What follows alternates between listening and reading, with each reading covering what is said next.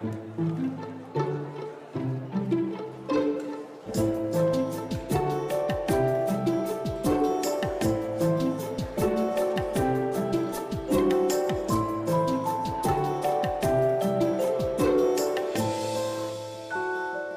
et messieurs, bonjour et bienvenue au Mémorial de la Shoah pour cette rencontre qui a été pensée à l'aune d'une double impulsion.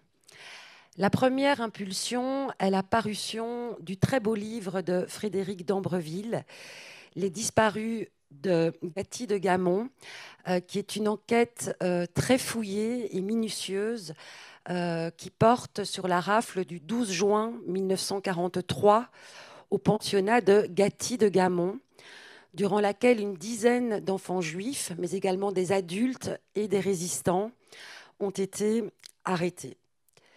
La deuxième impulsion est une exposition du mémorial actuellement en cours, Spirou dans la tourmente de la Shoah, que je vous invite vivement euh, à visiter, hein, si ce n'est pas encore fait. Elle se situe au troisième étage de ce bâtiment.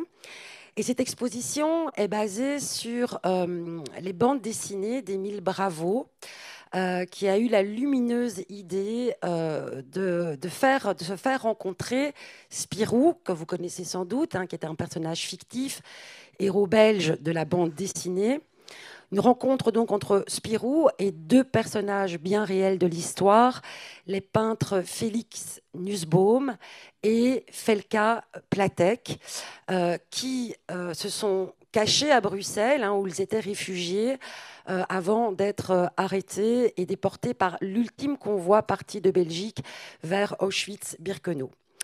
Nous avons donc souhaité créer un dialogue entre ces deux histoires pour incarner les persécutions, les sauvetages, les arrestations et déportations des Juifs euh, de Belgique, celles donc vécues euh, par euh, les personnes qui ont été arrêtées au pensionnat de Gatti de Gamon et que, va nous raconter Frédéric d'Ambreville, et celles vécues par Félix Nussbaum et Felka Platek. Anne-Sibylle Schwetter, qui est conservatrice à la Félix Nussbaum Haus, qui se situe à Osnabrück en Allemagne, va nous parler, va nous raconter euh, l'histoire euh, de Félix et Felka, euh, principalement quand ils sont à Bruxelles, où ils continuent à, peindre. alors, pour encadrer le récit de Frédéric et celui de Anne-Sibylle Schwetter, Gaëlle, je pense qu'il y a un souci avec la traduction, donc si tu pouvais, pendant que je continue à parler, un petit peu t'en occuper. Euh, pour encadrer donc ces deux, ces deux histoires, euh, nous avons le plaisir d'accueillir Laurence Schramm, historienne à la caserne de de Malines, qui va donc commencer cette rencontre en plantant le contexte historique hein, pour qu'on ait un petit peu des repères chronologiques euh, sur l'histoire de la Shoah en Belgique.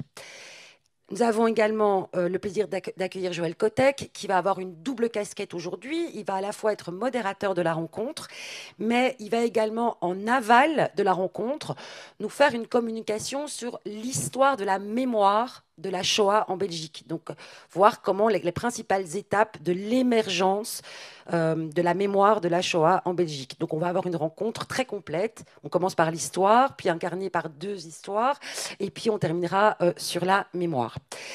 Et moi, je vais arrêter de parler et je vais passer la parole à ma collègue Caroline François, qui est chargée des expositions au Mémorial de la Shoah et qui est co-commissaire avec Didier Passamonique de l'exposition Spirou dans la tourmente de la Shoah parce que, Caroline, tu as des choses à nous dire, il y a des choses nouvelles euh, à cette exposition. Donc il faut retourner la voir, même si vous l'avez déjà vue, parce qu'il y a des choses nouvelles. Merci Julie. Bonjour à toutes, bonjour à tous. Euh, effectivement, euh, c'était cette rencontre, c'était l'occasion de de faire venir à Paris euh, Anne Schwilfetter, qu'on remercie euh, énormément euh, d'être ici, et puis aussi d'autres partenaires, Laurent Schramm pour la caserne d'Aussin, puisque en fait, dans le cadre de l'exposition Spirou dans, la tourmente de la Shoah, on a eu donc la chance et le plaisir de pouvoir présenter des œuvres de, Félix, de Félix Nussbaum et de Felka Platek, dont une partie ont été prêtées donc par la Félix Nussbaum House, et comme vous le savez certainement, dans le cadre de la présentation des œuvres d'art, il, y a des délais. vous ne pouvez pas présenter très longtemps des, des, œuvres. Il faut qu'elles retournent dans les réserves pour des questions de conservation. Et donc, on a imaginé, aussi à l'occasion de, cette rencontre, de la rotation des, tableaux. Donc, si vous retournez voir, comme vient de dire Julie, l'exposition, vous verrez des nouvelles œuvres qu'on a installées, qu'on a installées vendredi, avec aussi là un partenariat avec, avec la maison Félix Nussbaum, et puis avec un, nouveau partenaire, le, musée juif de, de Belgique.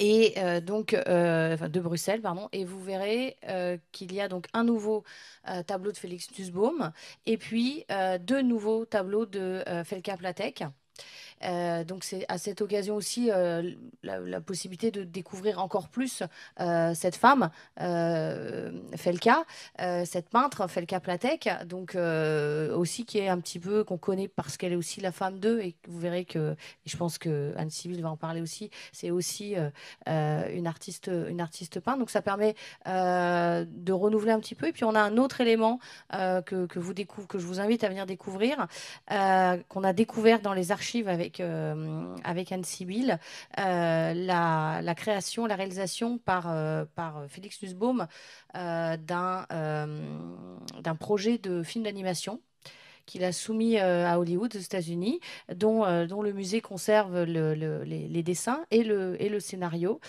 Et ce, ce, projet a été envoyé dans les années 30 et bien évidemment, il n'a pas eu lieu.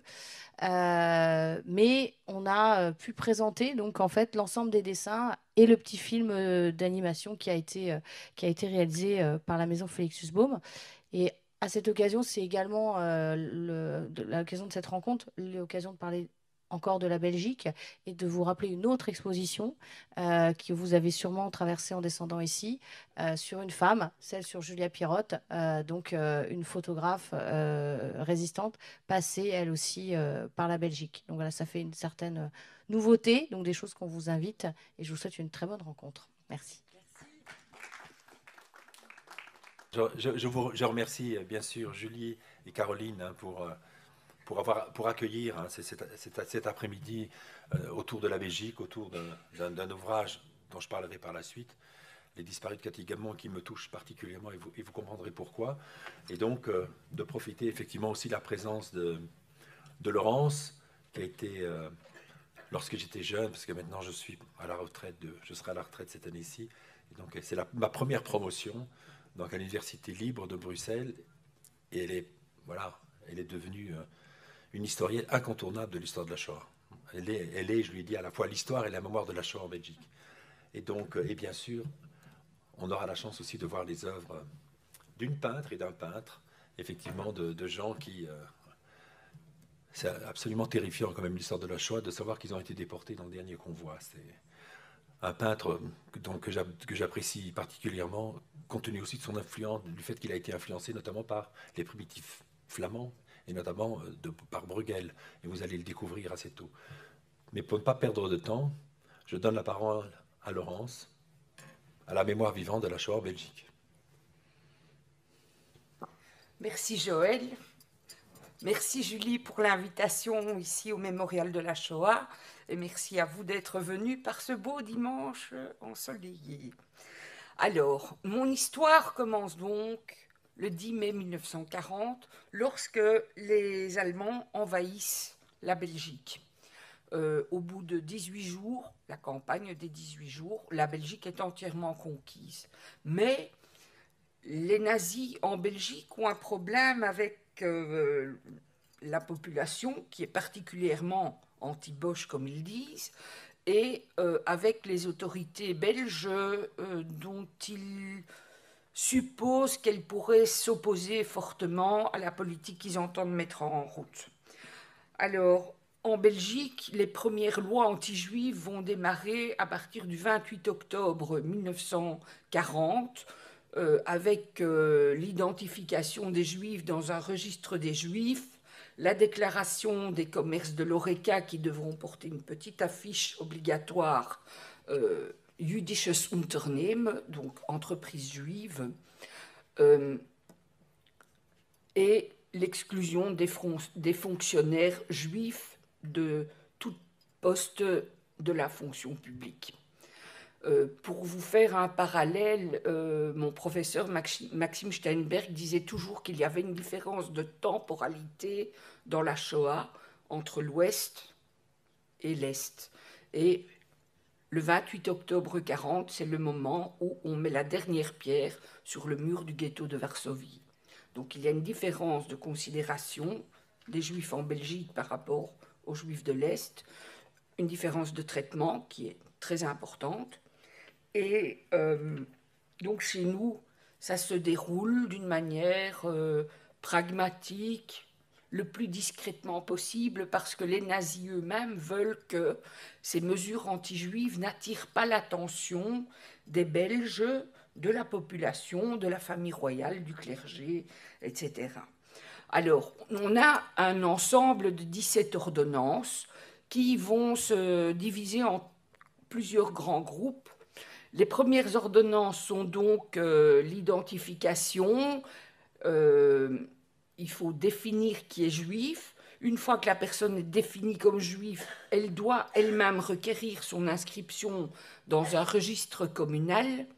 Ensuite, euh, elle va voir que à partir du mois de juillet 1941, sa carte d'identité va être marquée d'un cachet bilingue français-néerlandais juif Yod. Et euh, on procède encore à un dernier recensement à partir du mois de décembre 41 jusqu'en février, qui est l'inscription euh, à l'association des juifs en Belgique, donc l'équivalent de euh, en Belgique. Alors, un autre groupe d'ordonnances vise l'économie. Parce que les nazis nourrissent un fantasme, ils pensent que les juifs de Belgique vont être euh, aussi riches que les juifs d'Allemagne ou aussi riches que les juifs de France. Ceci dit, ils se rendent vite compte que ce n'est pas le cas, puisque notre population juive se compose à plus de 90% d'immigrés récents, des gens qui ont fui euh, dans la première moitié du XXe siècle et en particulier après la guerre 14-18, euh, les juifs polonais qui forment 40% de la population en Belgique, ils sont venus parce qu'ils fuyaient à la fois l'antisémitisme et la pauvreté. Euh, et les juifs allemands qui arrivent dans les années 30, on les estime à, 20 à 25 000. Donc, quand je dis juifs allemands, je me trompe, c'est juifs du Reich, donc des Allemands, des Autrichiens, et euh, des juifs issus de Bohème-Moravie qui ont dû abandonner tout ce qu'ils avaient euh, comme possession au profit du Reich pour pouvoir émigrer. Donc ils, étaient limités à la fois dans le poids de leur bagage et dans la somme d'argent qu'ils pouvaient emporter avec eux. on exclut donc comme je l'ai dit, les juifs de nationalité belge qui sont fonctionnaires de leur métier on, commence à liquider, plutôt qu'arianiser les firmes belges, enfin les firmes juives en Belgique, pour être précis, parce que la plupart de ces sociétés ou de ces petites entreprises, c'est des, petites entreprises familiales euh, qui emploient pas tant de personnes, il y a beaucoup de travail à domicile, et donc ces juifs-là, bah, ils gagnent leur, leur vie au jour le jour, ils sont pas très riches, on bloque les comptes en banque, on oblige euh, à déclarer les biens immobiliers, etc. Mais en Belgique, en effet, l'opération est plutôt euh, décevante. Euh, et quant aux diamants, ben, ils trouvent toujours une parade vis-à-vis -vis des mesures qui leur sont imposées. dans l'ensemble, c'est un secteur qui va s'en sortir mieux que, les secteurs euh, de la confection ou, d'autres. Alors, on a encore euh, un groupe de mesures qui vise à exclure physiquement les juifs de la société, c'est-à-dire qu'avec la création de l'association des juifs en Belgique, on va aussi interdire aux enfants d'encore fréquenter les écoles non juives, qu'elles soient publiques ou privées, euh, les juifs ne peuvent plus aller que dans des écoles juives avec des professeurs juifs. Euh, les médecins, les infirmières, enfin tout le personnel hospitalier juif doit abandonner ses fonctions. Ça, c'est un petit peu plus tard. Euh, on voit les, enseignants, les journalistes, euh, les, fonctionnaires qui doivent quitter leurs fonctions. Et petit à petit, on va appauvrir terriblement cette population en la privant de ses moyens d'existence. et pour les mettre physiquement en dehors de la société, eh bien, la dernière ordonnance, celle du 25, 27, 27 mai 1942, euh, va être l'obligation du port de l'étoile de David sur le côté gauche du vêtement, bien visible dès paraît en public. Et cette obligation s'adresse aussi à des enfants de plus de 6 ans. Donc des enfants portant l'étoile de David sont euh, désormais également, comme les adultes, repérables en vue. Et donc, on est là devant une population qui est appauvrie, marquée, fichée, identifiée, localisée. Donc, la déportation peut commencer.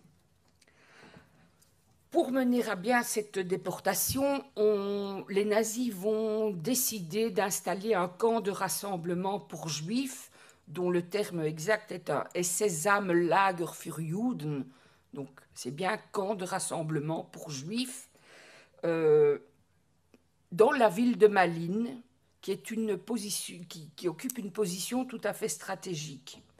Malines se trouve à mi-chemin entre Bruxelles, qui compte 33 euh, 000 juifs, et Anvers, qui en compte à peu près 27 000.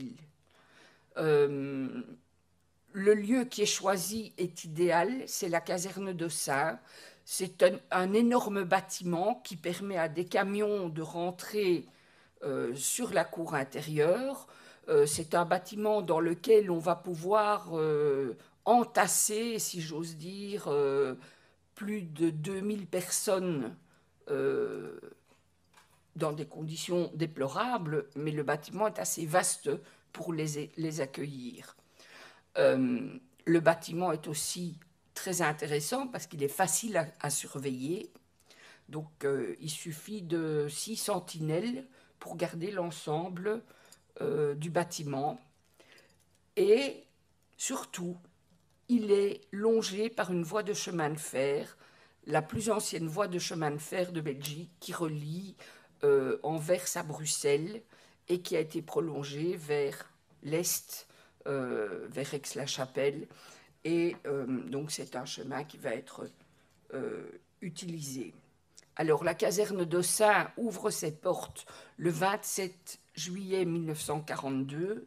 Le jour de l'ouverture arrivent les premiers juifs convoqués pour le travail. Parce que là encore, comme on veut éviter de heurter la susceptibilité de, la population et des autorités belges, on procède sous couvert d'une mise au travail.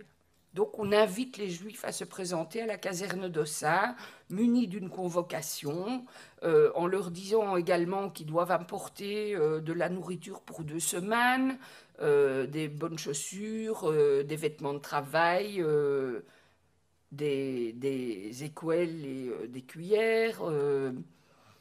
et sur ces 12 000 convocations qui ont été ordonné par l'occupant, mais réalisé euh, sur base des listes qu'a fourni, qu'a dû fournir l'Association des Juifs en Belgique, euh, on fournit une des listes de 12 000 noms, et sur ces 12 000 convoqués, à peine un tiers va se présenter à la caserne d'Ossin, ce qui montre déjà que dans la population juive de Belgique, il y a une conscience du danger je rappelle quand même que plus de 20 000 des juifs en Belgique sont des juifs qui viennent du Reich.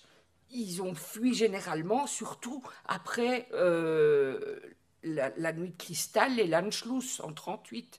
Donc, ce sont des gens qui savent déjà un petit peu ce que c'est le nazisme et qui ont déjà un peu touché. Euh, certains ont déjà été enfermés dans des camps de concentration, des prisons en Allemagne. Et donc, euh, on voit qu'il n'y a pas vraiment la docilité dont on entend toujours parler. Et avant même le 8 septembre 1942, on voit que les Juifs n'obéissent pas, les Allemands en attendent 300 par jour, ils n'atteignent jamais ce quota. Et donc avant même la fin du système des convocations le 8 septembre 1942, eh bien, à partir du 15 août 1942, les nazis vont organiser les grandes rafles.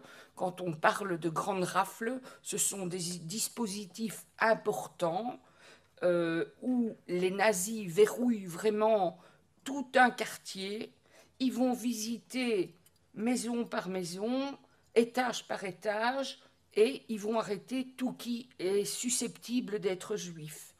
Le tri, s'il y a des non-juifs, euh, va se faire plus tard dans la caserne de Saint, ou s'il y a des juifs qui sont protégés pour des motifs euh, diplomatiques ou politiques, eh bien, Certains vont être libérés, mais la plupart vont rester, notamment les juifs de nationalité belge, vont rester enfermés dans la caserne de Euh, après cette période des grandes rafles, évidemment, les juifs comprennent d'autant plus le danger parce qu'on arrête cette fois tout le monde. On convoquait les gens principalement entre 15 et 50 ans, l'âge normal à cette époque pour aller travailler. Et ici, on prend des femmes des enfants, des nourrissons, des vieillards, des malades, des grabataires. C'est pas pour travailler, un bébé ne peut pas travailler. Et ces rafles se passent avec tellement de violence que les juifs réalisent que là, il y a, quelque chose qui se passe. Et comme le constate le comité de défense des juifs, qui est un des mouvements de résistance les plus importants en Belgique, euh, il ne s'agit pas de mise au travail, il y a quelque chose de plus grave qui se cache derrière. Et donc les Juifs vont passer massivement dans la clandestinité. Donc euh, on arrache l'étoile de David, on quitte son logement officiel qui est déclaré à l'occupant, euh, on essaye de se procurer des faux papiers d'identité. Et je crois que tous les Juifs en Belgique à cette époque-là vont faire ce qu'ils peuvent pour échapper à l'arrestation et échapper à la déportation. Donc on a un passage massif dans la clandestinité. Euh, ceux qui sont euh, capturés et amenés à la caserne de Saint, ben, ce sont des gens qui vont, même à la caserne de Saint, encore désespérément essayer de se sortir de cette toile d'araignée. Ils vont écrire euh, qui a recteur d'université, qui a prêtre de paroisse, qui euh, a son employeur. Enfin, on, essaye de contacter toutes les personnes qui sont susceptibles de pouvoir aider ou dont on croit qu'elles vont pouvoir aider. Alors, euh, évidemment, euh, le nombre de juifs qui ont été internés à la caserne d'Ossin et qui en ont été relâchés ou libérés à la fin de la guerre, ils sont un peu plus, ils sont, ils sont autour de 1300. Sur 25 843 personnes déportées, à peu près 1500 ont échappé en étant libérés sous l'occupation. Alors, ces rafles ont évidemment ramené chaque fois plusieurs centaines de juifs à la caserne d'Ossa, mais elles ont aussi un effet pervers, parce que les juifs passent dans la clandestinité, donc on ne peut plus les attraper facilement ils, ont des faux papiers, ils n'ont plus l'étoile, euh, ils quittent leur, logement officiel, ils disparaissent de la circulation. Et là, deux méthodes euh, d'arrestation vont vraiment exploser, surtout devenir les seules encore possibles.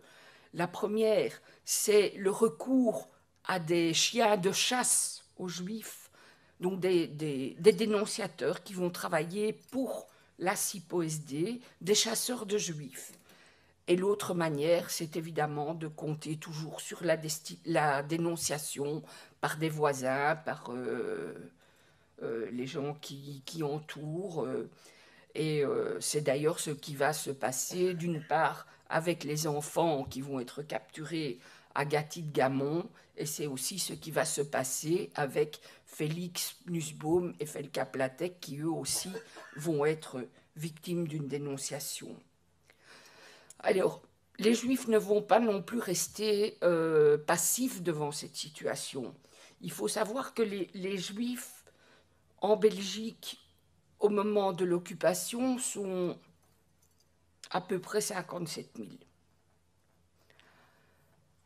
Et on, ils représentent moins d'un étranger sur dix. Donc ils sont vraiment une infime minorité. Et pourtant, c'est eux qu'on va retrouver au premier plan des mouvements de résistance, que ce soit dans la résistance armée, avec euh, le groupe mobile des partisans, qui va payer un lourd tribut. Euh, peu d'entre eux en réchappent euh, ou sont encore en vie en 1945. On a également le comité de défense des Juifs qui va être mis sur pied par deux militants juifs que sont Gert et Yvonne Jospa, Hertz et Yvonne Jospa, qui vont rassembler autour d'eux des gens de toutes obédiences, de toute philosophie, de toute religion, dans un seul but, sauver les enfants. Parce que sauver les enfants, ben c'est ce qu'il faut faire quand un génocide se déclare. Parce que le génocide, c'est de s'en prendre d'abord à ceux qui portent le futur en eux, c'est-à-dire les femmes et les enfants. Les femmes et les enfants sont d'ailleurs les victimes majoritaires dans le cadre d'un génocide. Alors, on a également euh, une présence juive importante dans la presse euh, clandestine, avec euh, Anvers de qui est un journal clandestin flamand, qui va être initié par... ça y est, son nom m'échappe. ça c'est la meilleure, excusez-moi, euh, De Vries, donc un, juif issu des Pays-Bas qui s'appelle De Vries.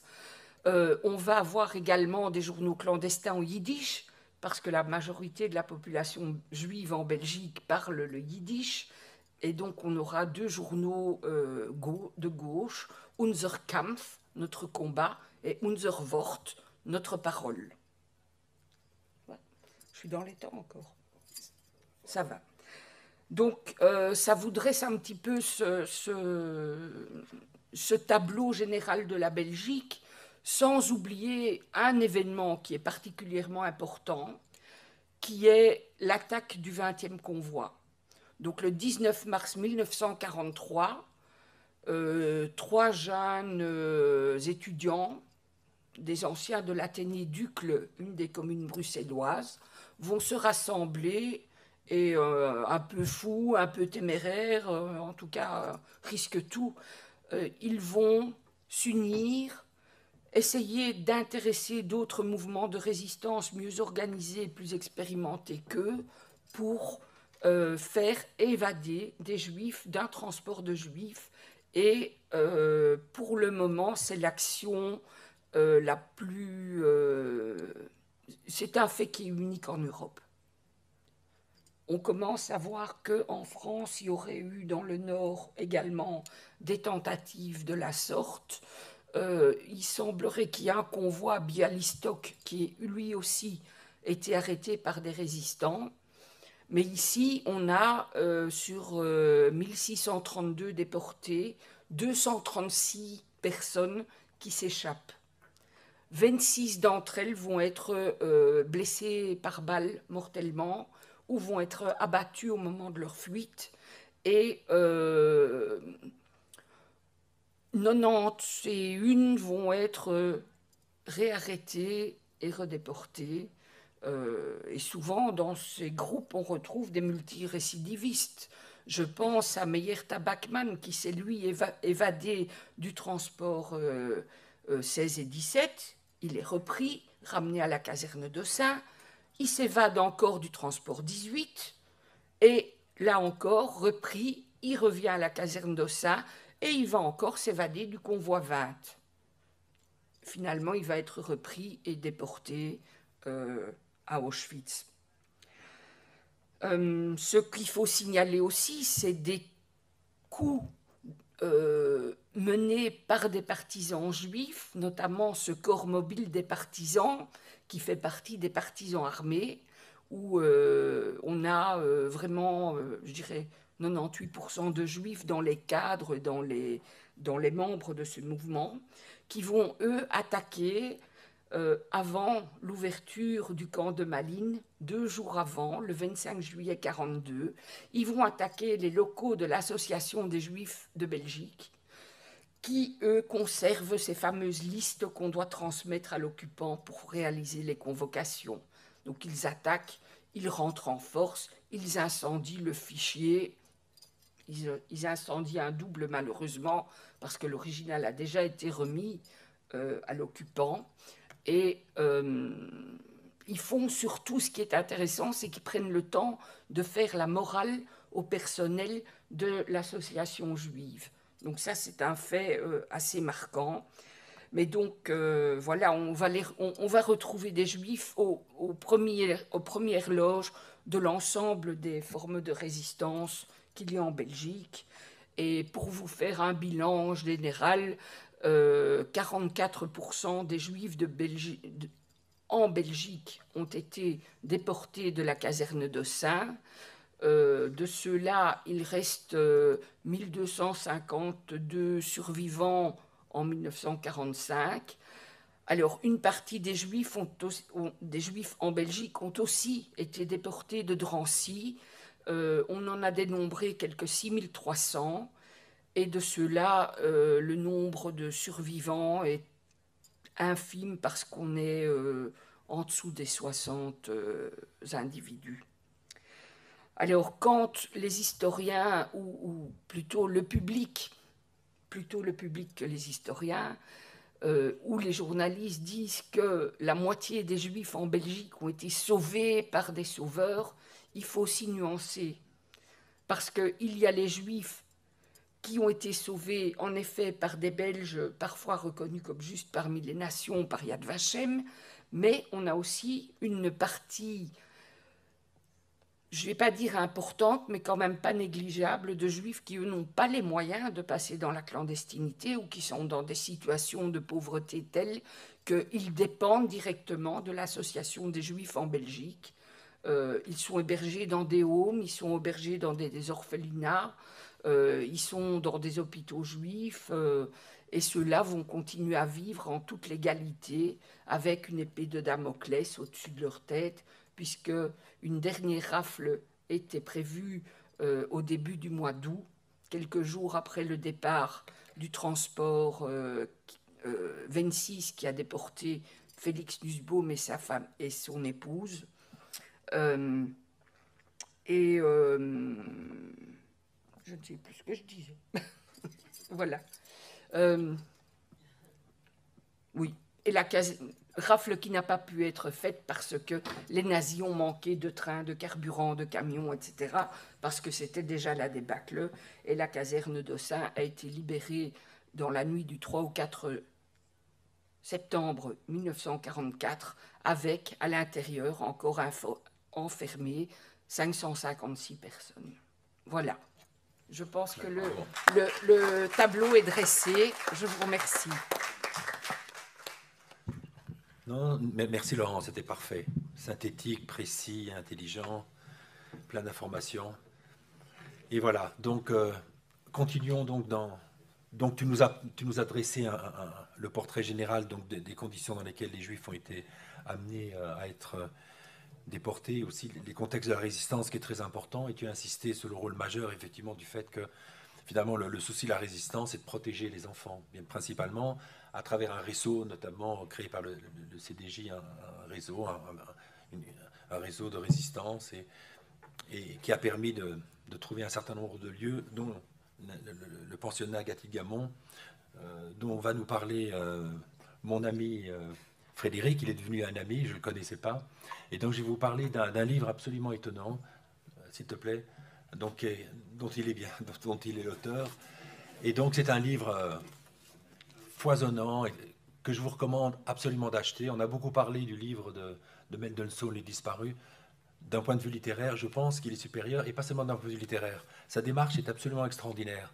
Alors, une fois, je veux dire, c'est étonnant, cet homme-là euh, n'est pas juif, et donc et on va discuter avec lui qu'est-ce qui a pu amener cet homme-là, qui est un artiste, a consacré dix années de sa vie, parce qu'il a consacré dix années de sa vie à, cette histoire, c'est de la micro-histoire, qui est euh, ce moment où le, 12 juin 1943 euh, a lieu une rafle dans un endroit, parmi d'autres, où sont cachés un certain nombre de gens, on ne sait pas exactement, puisque c'est un travail d'enquête qu'il a fait, et donc... Euh, à l'origine, si j'ai bien compris, c'est le fait qu'il loue un appartement. Il est parisien, hein, donc il est, il est d'ici. Il habite à Bruxelles. Et il loge, il loue une partie de ce qui avait été ce pensionnat. Et puis j'ai l'impression qu'il a été. Vous connaissez les D-Books Mais je pense qu'il a été. Euh, il a été en quelque sorte dans une maison hantée. Et euh, bon, il en est sorti dix années plus tard à travers cet, ouvrage-là. Donc il s'est rendu compte qu'il s'était passé quelque chose. Il avait découvert des inscriptions qu'il n'a jamais réussi à, déchiffrer. Est-ce que ces inscriptions avaient un rapport ou non avec euh, ces enfants qui avaient été cachés? Pas seulement des enfants, des adultes. Alors je ne vais pas parler trop longtemps, mais ce qui est intéressant, c'est, souvent je le présente, son œuvre, je l'appelle un objet littéraire non identifié. J'ai inventé ce mot. Parce que c'est totalement étonnant. Donc voilà un homme qui euh, est hanté par des histoires qui, ne sont pas forcément les siennes, qui décide d'y consacrer euh, pratiquement euh, dix années de sa vie, et qui nous livre à la fois un, récit littéraire, une œuvre poétique. c'est quand même combien? 800 pages? 850. 850 pages. Donc d'une écriture. Le manuscrit faisait 1200 pages. Voilà, 1200 pages. Donc d'une écriture, je dirais, obsessionnelle. une écriture en spirale. Et donc c'est donc à la fois une œuvre littéraire, mais vraiment une œuvre littéraire, et en même temps, ce qui est extraordinaire, c'est une œuvre d'historien. C'est-à-dire, euh, cet homme-là a été amené à maîtriser parfaitement l'histoire de la Seconde Guerre mondiale, l'histoire de la Shoah. Donc à la fois la macro-histoire, pour mieux comprendre cette micro-histoire. Alors cette histoire, bien sûr, me touche. Pourquoi? Parce que, et c'est ce qui fait qu'on s'est rencontrés, c'est que normalement, j'aurais pas dû être là. Euh, je suis là par hasard. Je suis là parce qu'un jour, ma mère a été euh, vraisemblablement victime d'une soit d'un spleen, parce qu'elle était cachée dans cette maison-là. Elle était dans ce pensionnat avec sa cousine Rachel, dont il a beaucoup, sur laquelle il a beaucoup travaillé. Et donc ce jour-là, euh, ma mère, ayant le spleen de ne plus voir ses parents, puisqu'il était caché, feint une maladie ou est malade, et donc quitte. Et c'est ce soir, c'est ce soir même qu'il y a eu la rafle. Donc ce qui fait que ma mère n'a pas été déportée, contrairement à sa cousine, dont il vous parlera certainement. Et donc euh, ce qui, ce qui a, il voulait savoir qui était cette, euh, cette Greta. Est-ce qu'elle avait été déportée? Est-ce qu'elle avait disparu? Et finalement, c'est ce qui fait qu'on s'est rencontrés, d'abord plutôt mon frère que moi. Et donc, c'est vraiment un travail d'historien.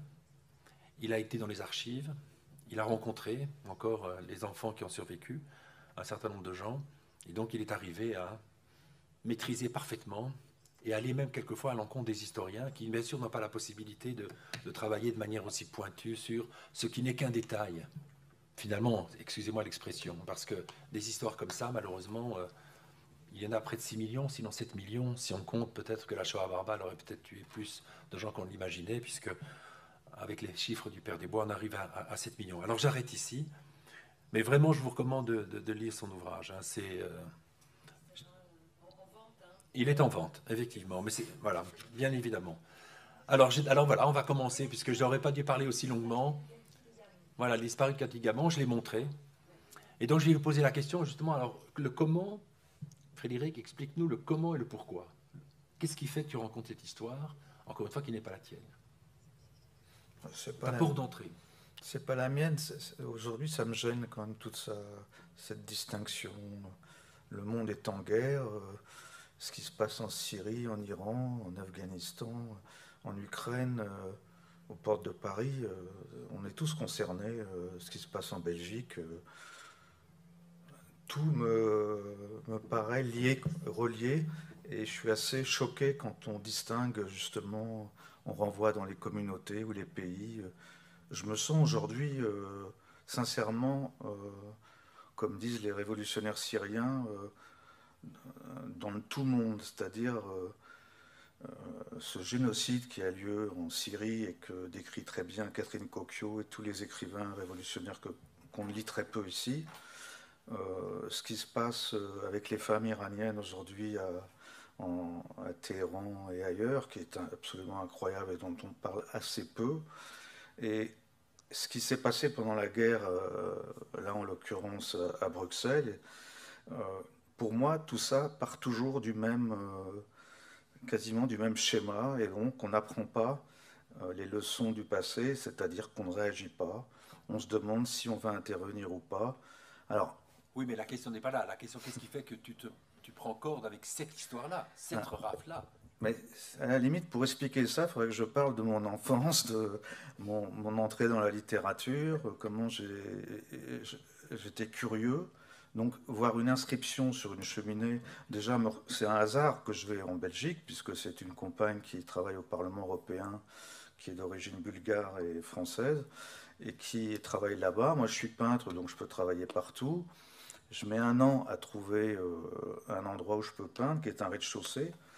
Et je découvre au bout de assez peu de temps euh, une inscription sur la cheminée. Effectivement, c'est un peu, comment dire, simplifiant, mais c'est la réalité que j'essaie de déchiffrer. Donc, par esprit de curiosité, mais parce que du fait que j'écris, que je peins et que je me questionne sur les endroits où je suis, que j'ai travaillé aussi. Bon, je me demande où est-ce que j'habite. Je découvre des, comptes rendus euh, sur Internet euh, d'une commémoration de Juste qui a eu lieu en, 93, en 93 pour les Belges, et euh, où on donne une version assez héroïsante, disons, des, adultes pendant cette rafle, donc du couple directeur, c'est-à-dire de la directrice. On parle souvent du directeur, mais c'est une directrice laïque qui avait ce pensionnat depuis 1925, qui louait les locaux, qui n'étaient pas propriétaires, et euh, elle accueillait des jeunes filles juives avec un esprit d'émancipation des jeunes filles déjà euh,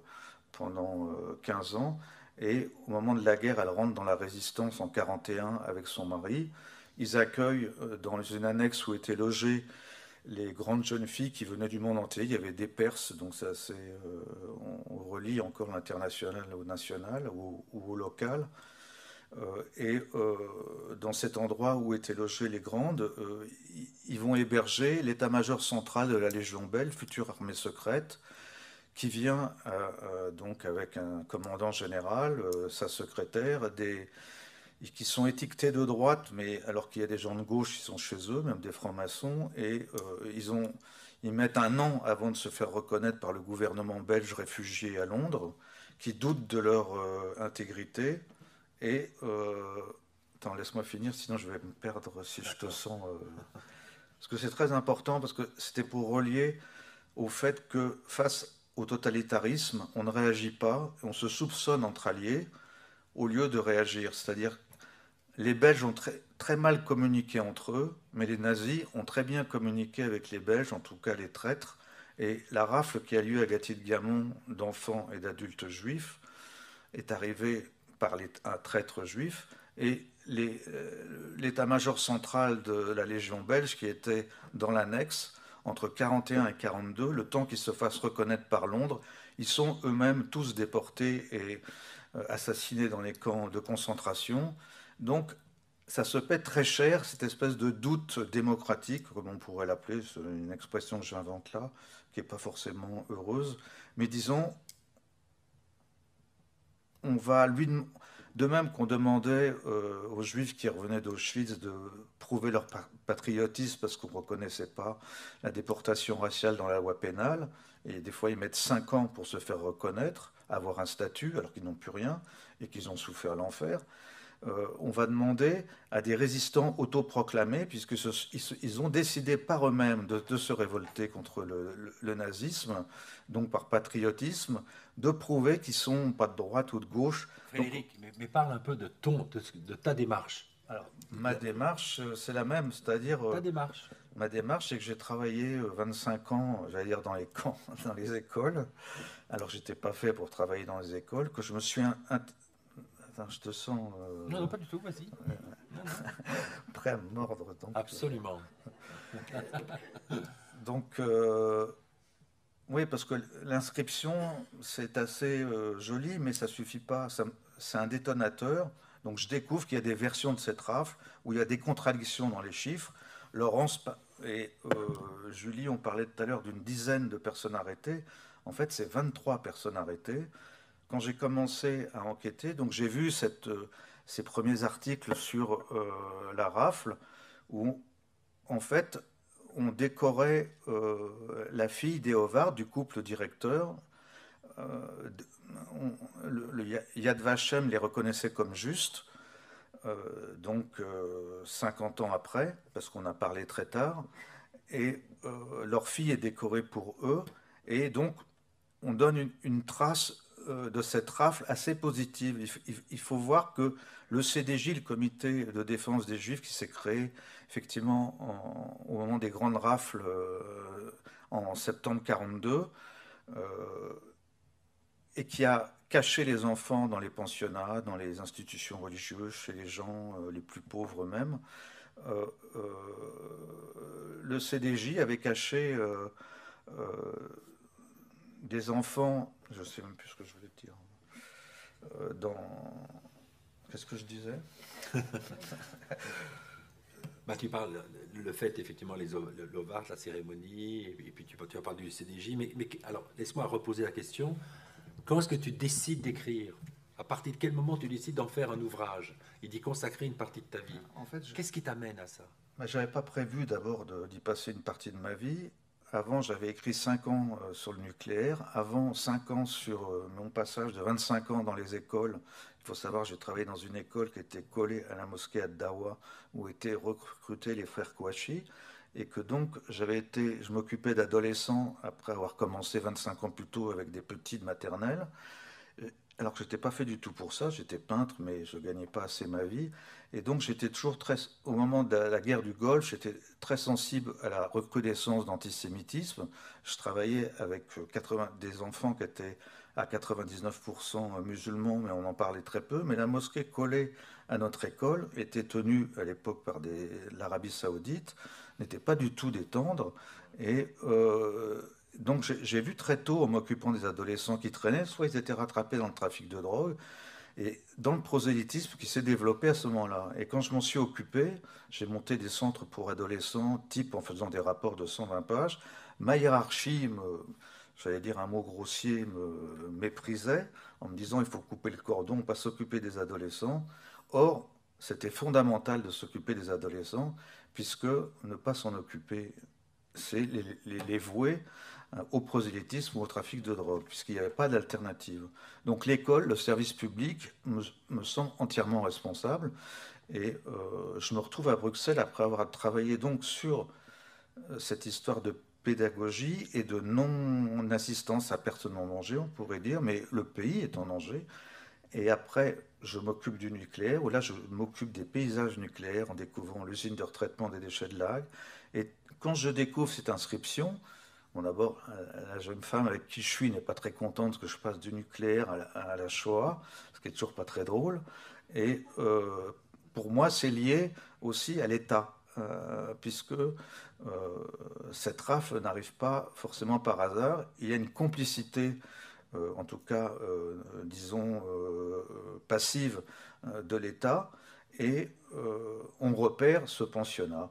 Donc moi, pourquoi j'enquête là-dessus? Parce que je suis sensible du fait que j'ai travaillé 25 ans dans les quartiers au racisme, à l'antisémitisme, aussi à l'injustice, à l'inégalité, que je vois qu'il y a un couple directeur qui s'est engagé dans la résistance et qui a été négligé.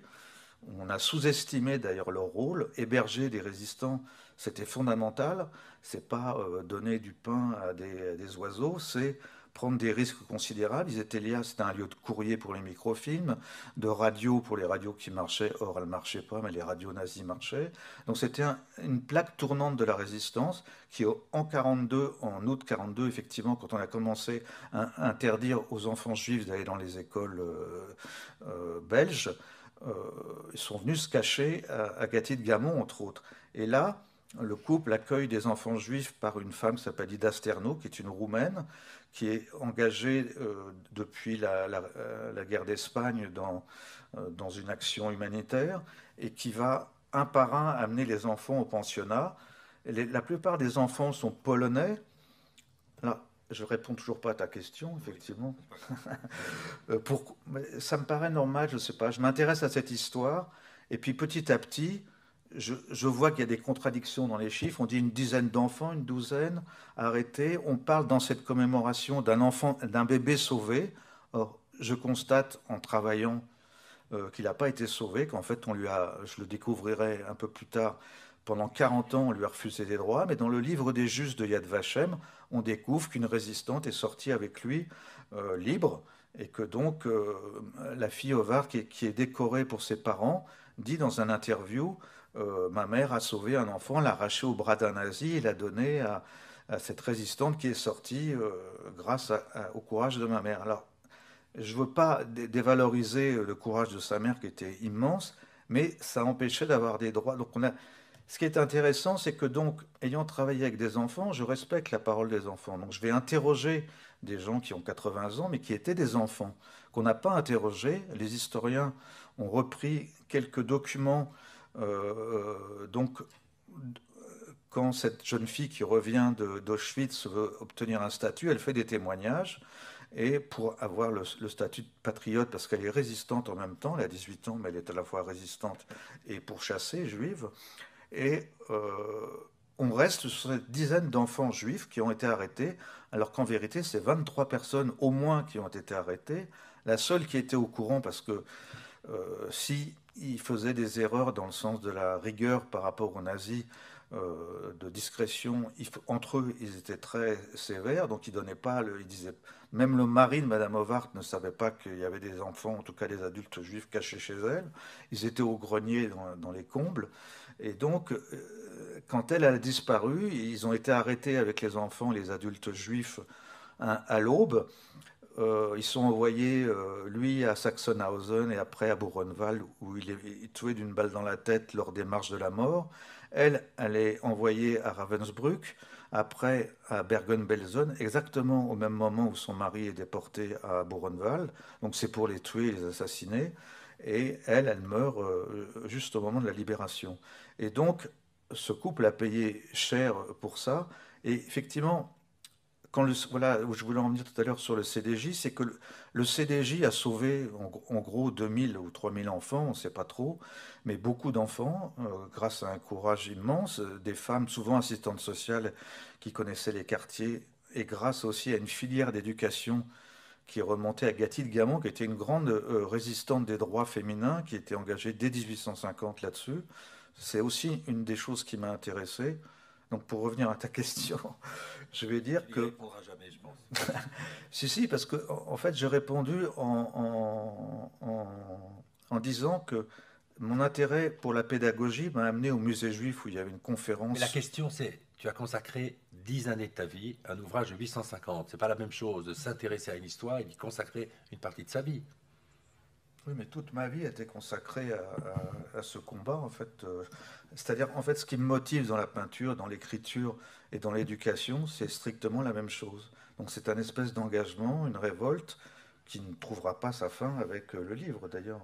Je, l'interromps une seconde. Donc, ce qui est extraordinaire dans cet ouvrage, c'est une véritable enquête policière. Vous, remarquez à quel point donc il est la précision du détail, le, refus euh, effectivement des approximations, ce qui fait que même quelquefois on l'a traité, euh, si je me souviens bien, attends, attends, attends, attends, de, de, pilleur d'épave, parce qu'il a été amené à rencontrer des gens dont euh, la mémoire, souvent après quelques années, n'était plus, ne correspondait plus certainement à la réalité des faits. donc, il est en, quelque sorte le maître des histoires. Et c'est comme ça que j'ai appris l'histoire de ma propre famille. Et notamment, donc, je vous ai dit que ma mère était cachée là-bas. Et heureusement, elle y a échappé, mais par pur hasard. D'ailleurs, chaque euh, comment dire, personne sauvée de la Shoah, elle est sauvée par un certain nombre de miracles. Hein. c'est miraculeux comment même a survécu. Mais malheureusement, sa meilleure amie, qui était sa cousine, a été déportée et il y consacre de très très très belles pages. Et, ce qui m'apprend, par exemple, c'est que la famille Thomas, puisque il s'appelait cette famille euh, Rachel, portait le nom de Thomas, et qu'il a fallu 16 convois de déportation. 16 convois de déportation pour en terminer définitivement avec euh, la famille Thomas. Et je termine encore une chose pour montrer aussi pour, par rapport à ce qu'a dit Laurence sur le fait qu'effectivement que les enfants sont quand même les, premières victimes euh, des génocides, de tous les génocides. Et donc il y a cette phrase, il y a le responsable de la, de la bon, pour aller vite de la Gestapo, c'est pas la Gestapo, c'est Zippo SD qui, qui effectivement est là, qui est, euh, qui est en, charge de cette rafle. Et puis une des résistances lui demande, mais, mais pourquoi vous faites ça? Mais pourquoi est-ce que vous déportez les enfants? Et il a cette phrase absolument extraordinaire et qui effectivement qui consente ce que c'est le génocide, si on ne veut pas souffrir des insectes, on doit les écraser lorsqu'ils sont petits. Et c'est ça la réalité, encore une fois. Et c'est ce que dit, voilà, je te laisse la parole. Et elle dit lors du procès de Falkenhausen, qui était donc le général qui à l'origine des ordonnances, ou qui a décrété les ordonnances, qu'ils euh, ont dit on fera ça, vous inquiétez pas, on fera ça proprement. Alors, il me demandait pourquoi. C'est vrai que j'ai commencé à vouloir écrire quand j'ai interrogé un des enfants qui s'est évadé, non pas de la caserne, il était enfermé à la caserne d'Ossin avec les autres enfants arrêtés à Gatti de Gamon. Et sa mère a beaucoup s'est battue pour le faire passer à l'hôpital en payant, en soudoyant un médecin juif et la secrétaire juive du camp. Et euh, il est passé à l'hôpital et il s'est évadé de l'hôpital. Quand je l'ai rencontré, j'avais déjà travaillé presque un an sur cette euh, rafle. Pourquoi? J'en sais rien. Pour, pour, pour, lever des contradictions. Et petit à petit, j'ai accumulé tellement de matériaux parce que ça me paraissait impossible de parler d'une rafle d'enfants comme si on parlait d'échantillons, euh, de chaussures, c'est-à-dire on ne les nommait pas. On parlait jamais des adultes que j'ai découverts petit à petit. On ne, et on en parlait comme d'une quantité abstraite. Et pour moi, c'était très important et je pense que si je n'avais pas travaillé avec des enfants, je l'aurais pas eu. On se moquait toujours de moi quand je travaillais sur les droits de l'enfant et les devoirs de l'enfant. On a une immensité de, devoirs d'adultes face à des enfants, surtout des enfants en difficulté. Et là, c'était le cas. C'était un pensionnat pour jeunes filles aisées. Ils se sont retrouvés à accueillir euh, la lie de la terre, comme disait Arthur Kossler, les enfants les plus pauvres euh, à l'époque euh, de l'Europe qui venaient des frontières de l'Europe entière, donc c'est-à-dire ils ne venaient pas de Belgique, ils venaient d'Allemagne, ils venaient de Lituanie, ils venaient de l'Empire austro-hongrois, de l'Empire russe, où ils étaient déjà sujets à des pogroms, déjà sur les frontières avec moins de droits que les autres. Donc, donc après, ils sont passés en Pologne, d'où ils ont été rechassés dans les années 20. Ils passent 20 ans à Anvers, ils sont toujours pas reconnus comme belges, ils sont toujours avec un statut euh, de provisoire de, personnes accueillies euh, grâce à notre gentillesse. Ils travaillent dans la clandestinité, dans, l'ombre, ils changent d'adresse permanence. Et résultat de tout ça, on les déporte euh, à partir de 40. Parce que, pour revenir sur ce que. Donc, c'est quand j'ai accumulé effectivement un matériau. Alors, je rencontre ce Bernard Liebstadt qui vient se demander qui est ce Français qui travaille sur cette histoire.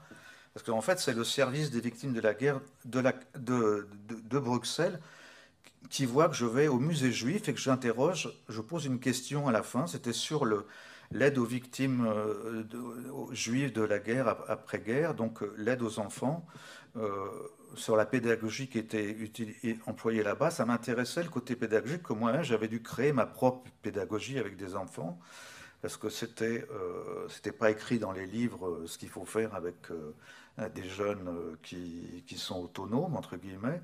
Et euh, je retrouvais une connivence avec euh, ce qu'on a fait dans les homes de la IVG, donc, euh, où les enfants étaient supposés être orphelins, mais on n'en était pas sûr. On ne pouvait pas leur appliquer une pédagogie directe.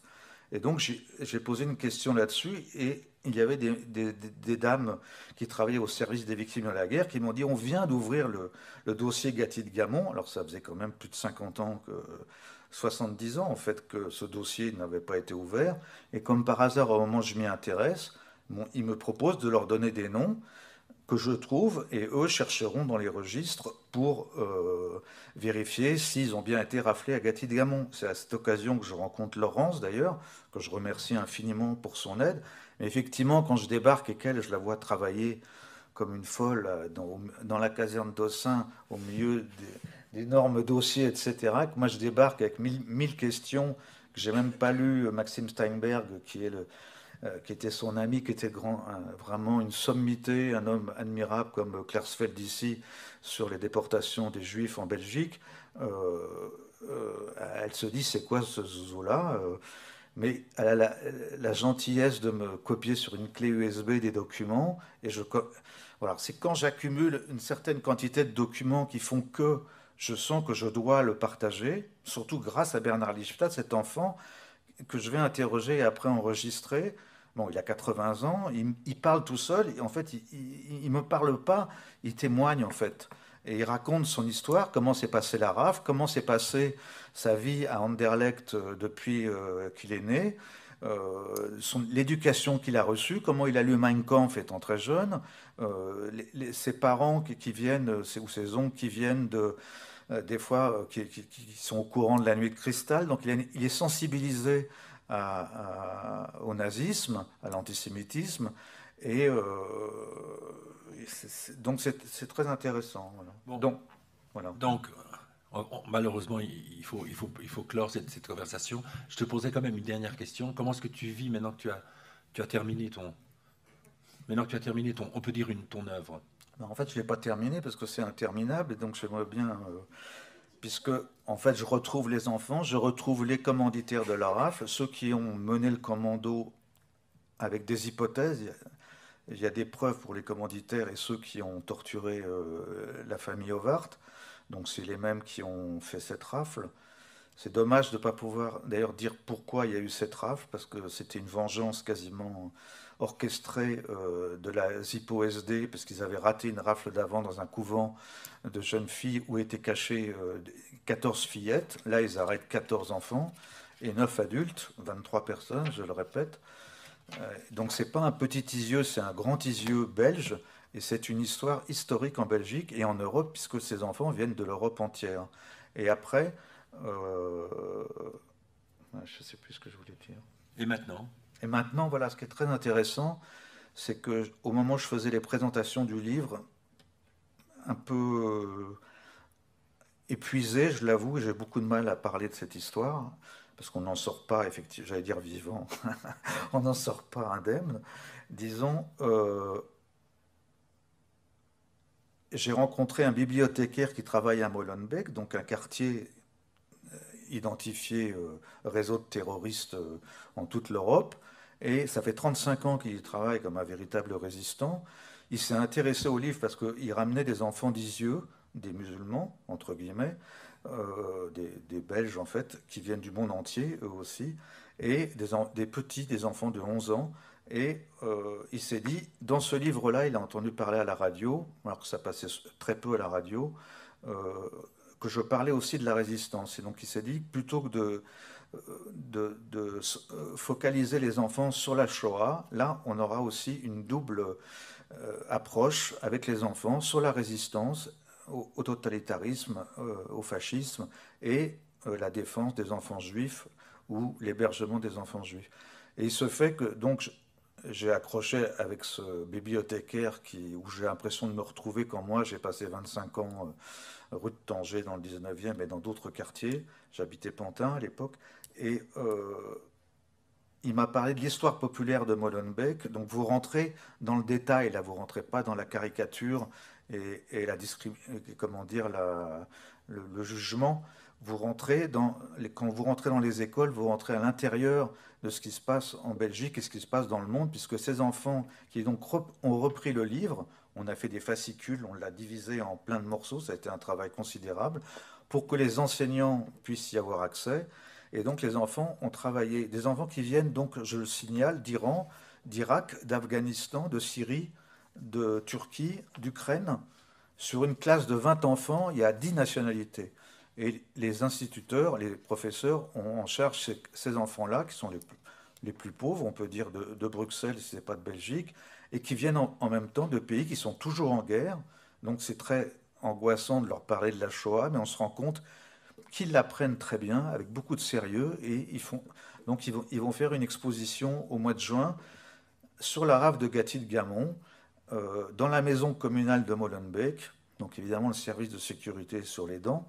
Mais pour moi, c'est une, euh, une grande satisfaction, je suis immensément euh, fier, c'est un grand mot, mais touché par cet engagement des enfants et des enseignants et en même temps, euh, ça n'a pas été sans mal. Donc c'est voilà, c'est la suite euh, logique quasiment euh, de, ce, de ce livre. Merci Frédéric, hein, vraiment. C'est vraiment, c'est l'histoire au service du présent et comme on dit aujourd'hui de manière un peu calvaudée, le, vivre ensemble et le faire ensemble. Et ça, c'est absolument essentiel. Je, donne, je vous donne la parole maintenant. Hein, pour parler, euh, ben on, est, on est dans la continuité en quelque sorte, hein, puisque, comme l'a bien expliqué Laurence, la nécessité de se cacher pour les enfants, mais aussi pour les adultes. Et d'autant plus des adultes d'origine allemande, effectivement, qui savent ce qu'est le nazisme, qui ont toute connaissance des causes, et qui malheureusement vont être rattrapés par, aussi par les, dénonciations, et qui, vont, et qui étaient deux, deux, grands artistes, deux grands artistes peintres. Et vous allez nous en parler, je vous remercie. Hein. Alors, la traduction, ce sera en allemand, donc vous avez tous vos appareils? Voilà, parfait, moi aussi. Je vous donne la parole, je vous cède la parole.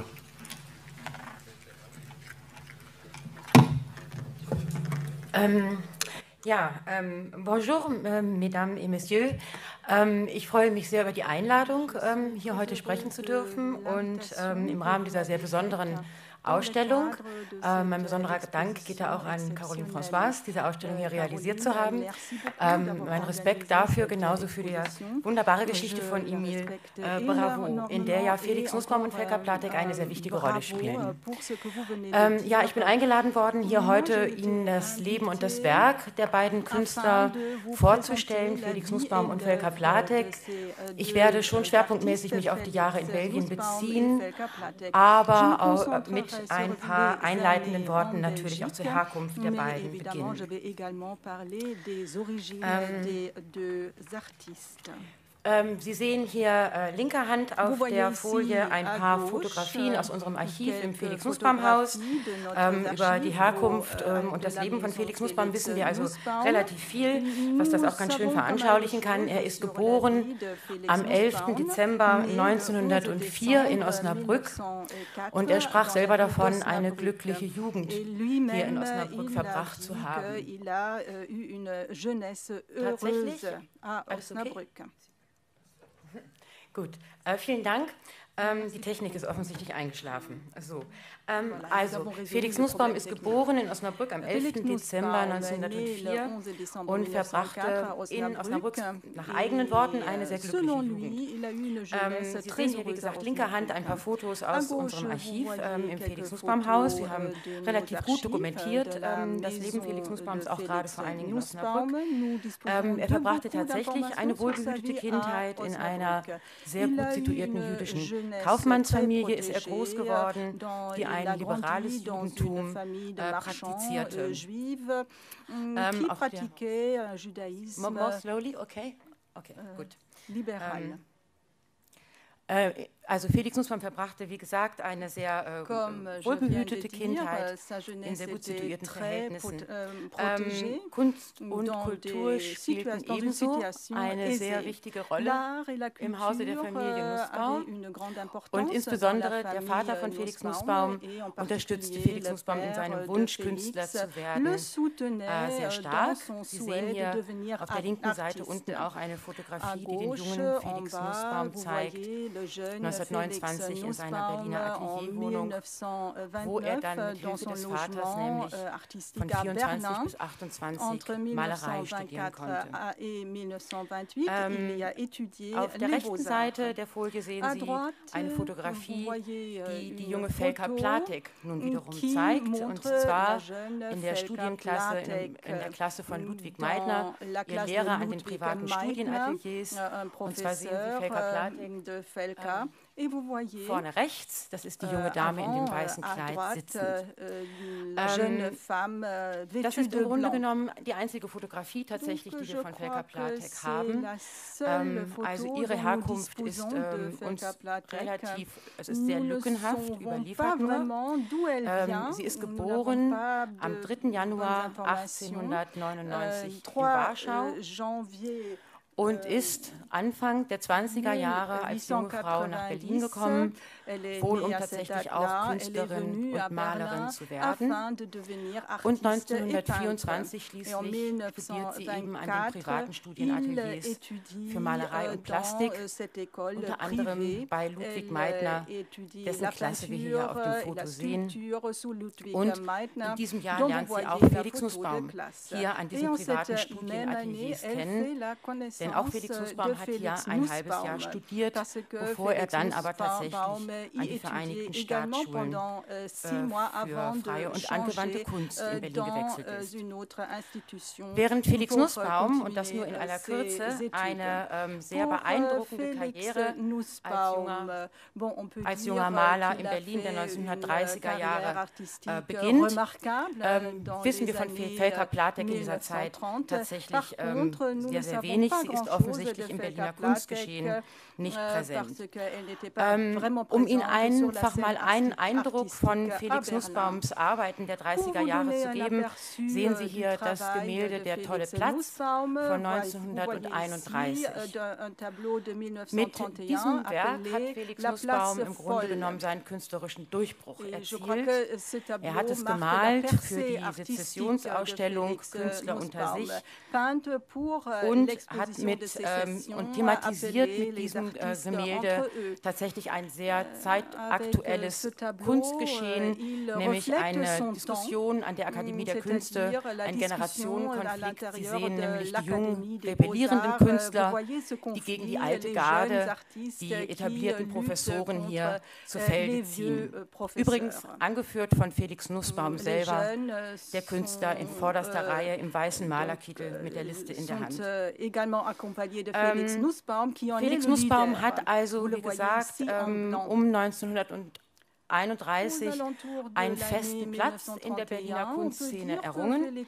Er hat äh, in den Jahren zwischen 1927 und 1932 nahezu 27 Ausstellungen bestückt. Das ist für einen jungen Künstler dieser Generation in Berlin wirklich bemerkenswert. Er wird 1928 Meisterschüler der Akademie und 1932 wird er Studiengast an der Villa Massimo in Rom. Das heißt, er wird sozusagen Gast der Preußischen Akademie der Künste an der äh, römischen italienischen Außenstelle. Donc voilà, ähm, il devient en quelque sorte ambassadeur. Felix Nussbaum und Felka Platek begleitet ihn, gehen dann tatsächlich nach Rom im Herbst 1932. Äh, ähm, und Felix Nussbaum wird dann von hier im Januar 1933 also Zeuge der, des politischen Umbruchs in Deutschland. Also er selber ist in Italien. Und für Felix Nussbaum und Felka Platek beginnt hier in diesem Moment vielleicht noch ungeahnt tatsächlich das Exil, denn sie kehren nicht mehr nach Deutschland zurück zurück. Sie entscheiden sich ähm, also gegen eine Rückkehr nach Berlin, ähm, nach Deutschland, in die alte Heimat, sondern gehen zunächst nach Paris für kurze Zeit, 1934, um euh, dann mit einem Touristenvisum nach Belgien einzureisen. In Belgien treffen die beiden jetzt im Februar 1935 äh, ein. Ähm, die Entscheidung für Felix Nussbaum nach Belgien zu gehen hatte bestimmt auch damit zu tun, dass vor allen Dingen Ostende, das ist der Ort, an dem sie ja zunächst eintreffen, eine vertraute Umgebung gewesen ist. Die Hoffnung, die die beiden sicherlich aber nach zwei Jahren, also 1933, verlässt er Italien, Rom, äh, Rom meine ich, genau, ähm, um dann sich für das Exil nach Belgien äh, zu entscheiden entscheiden, ähm, ist sicherlich auch eine, wo sie hoffen, eine Perspektive für sich zu finden. Das erfüllt sich jedoch nicht. Sie sind ähm, in, äh, in Ostende, beantragen sie ihre, ihre Fremdenpässe, die ihnen auch ausgestellt werden. Sie sehen hier äh, einerseits den Fremdenpass von Felix Nussbaum ähm, vom 16. November 1935, mehrfach später verlängert, und qui a été prolongé à plusieurs fois, et de l'autre côté, le passeport euh, de Felka Platek de 1937, euh, prolongé également à plusieurs reprises, comme vous le voyez. Donc le statut äh, d'un étranger euh, voulait dire que leur droit de séjour ähm, était limité en Belgique. Donc le séjour ne durait que six mois et devait être prolongé par la suite. Et ils étaient interdits de travailler également. Ils avaient essayé d'avoir des passeports ou une carte d'identité belge, mais en vain. Felka Platek et Félix Nussbaum, entre 1935 et 1937, changent de domicile en Belgique, Ostende en, en, hiver, en été, Bruxelles en hiver, mais d'autres domiciles également. Et comme l'avait dit euh, Félix Nussbaum lui-même, ils habitaient dans des hôtels, euh, dans des endroits assez moches. Mm, et euh, vous voyez ici un tableau et vous le voyez ici, la, le papier peint assez moche dont il parlait volontairement. Félix Nussbaum, quant à sa peinture, euh, ça le préoccupe et devient le miroir de sa situation. Surtout à Ostende, il y a une série de paysages portuaires euh, tels que ici les personnes en attente dans le port de Ostende.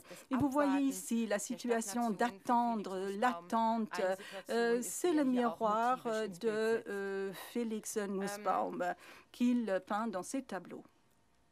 Den Lebensunterhalt verdient Felix Nussbaum aber nun vor, äh, ähm, vorrangig Il gagne äh, son argent euh, grâce à des différentes commandes.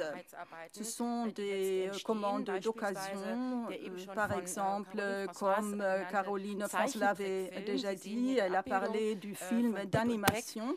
Peter Peck, voilà une, un, un, projet de film d'animation qui date de 1936 il voulait le faire euh, avec Michael Leuven, qui s'est exilé à euh, Londres, mais malheureusement, ce projet n'a jamais vu le jour. Tout ce qu'il en reste, ce sont euh, certains dessins. À la fin de 1937, Félix Nussbaum gagne un concours pour illustrer des livres d'école en Belgique. Voilà ici, vous voyez la couverture d'un livre. Et Félix Nussbaum commence également de peindre certains objets en céramique. Et vous voyez deux exemples en photo.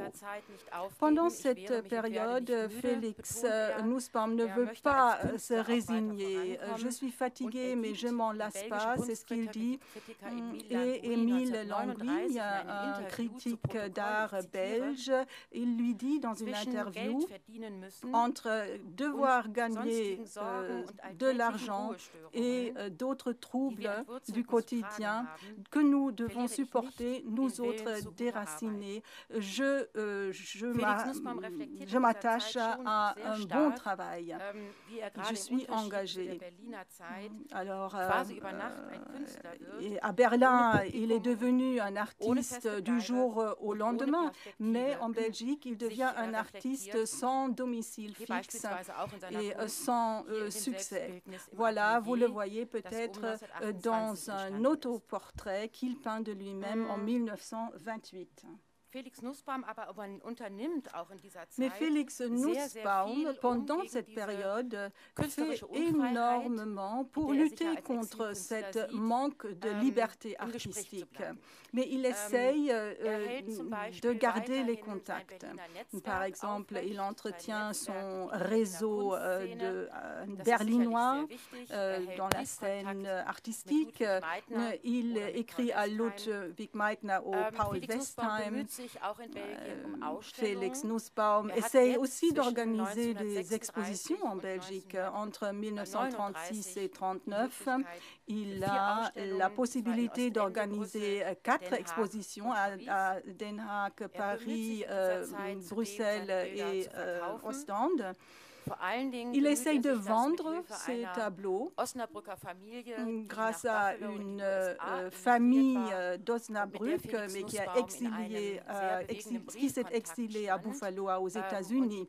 Ils se sont échangés beaucoup de lettres, ils sont restés um en contact et Félix Nussbaum envoie ces tableaux aux États-Unis pour qu'ils puissent être vendus là-bas.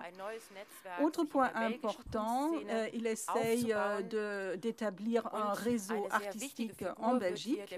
Un personnage très important, c'est Dolph Ledel. C'est un sculpteur belge qui a un énorme réseau à son actif. Et en 1939, il organise la dernière exposition de son vivant de, de Félix Nussbaum dans le cercle socialiste 38. Puis c'est le mariage de Felka et euh, Félix. Ils s'établissent à Bruxelles. Ils ont un domicile fixe dans la rue Archimède 22. Pour Félix Nussbaum, bon, il espérait une nouvelle perspective, une perspective de devenir à nouveau un artiste, artiste connu, moyennant le contact avec Wolf Ledel, moyennant l'expérience mais euh, c'est la guerre euh, en 1939 euh, et toute cette perspective s'écroule. En septembre 1939, l'attaque de la Pologne, à ce moment-là, la situation de Félix et Felka change énormément en Belgique parce que, évidemment, ils äh, ont des soucis que la guerre äh, vont gagner euh, l'ouest de l'Europe.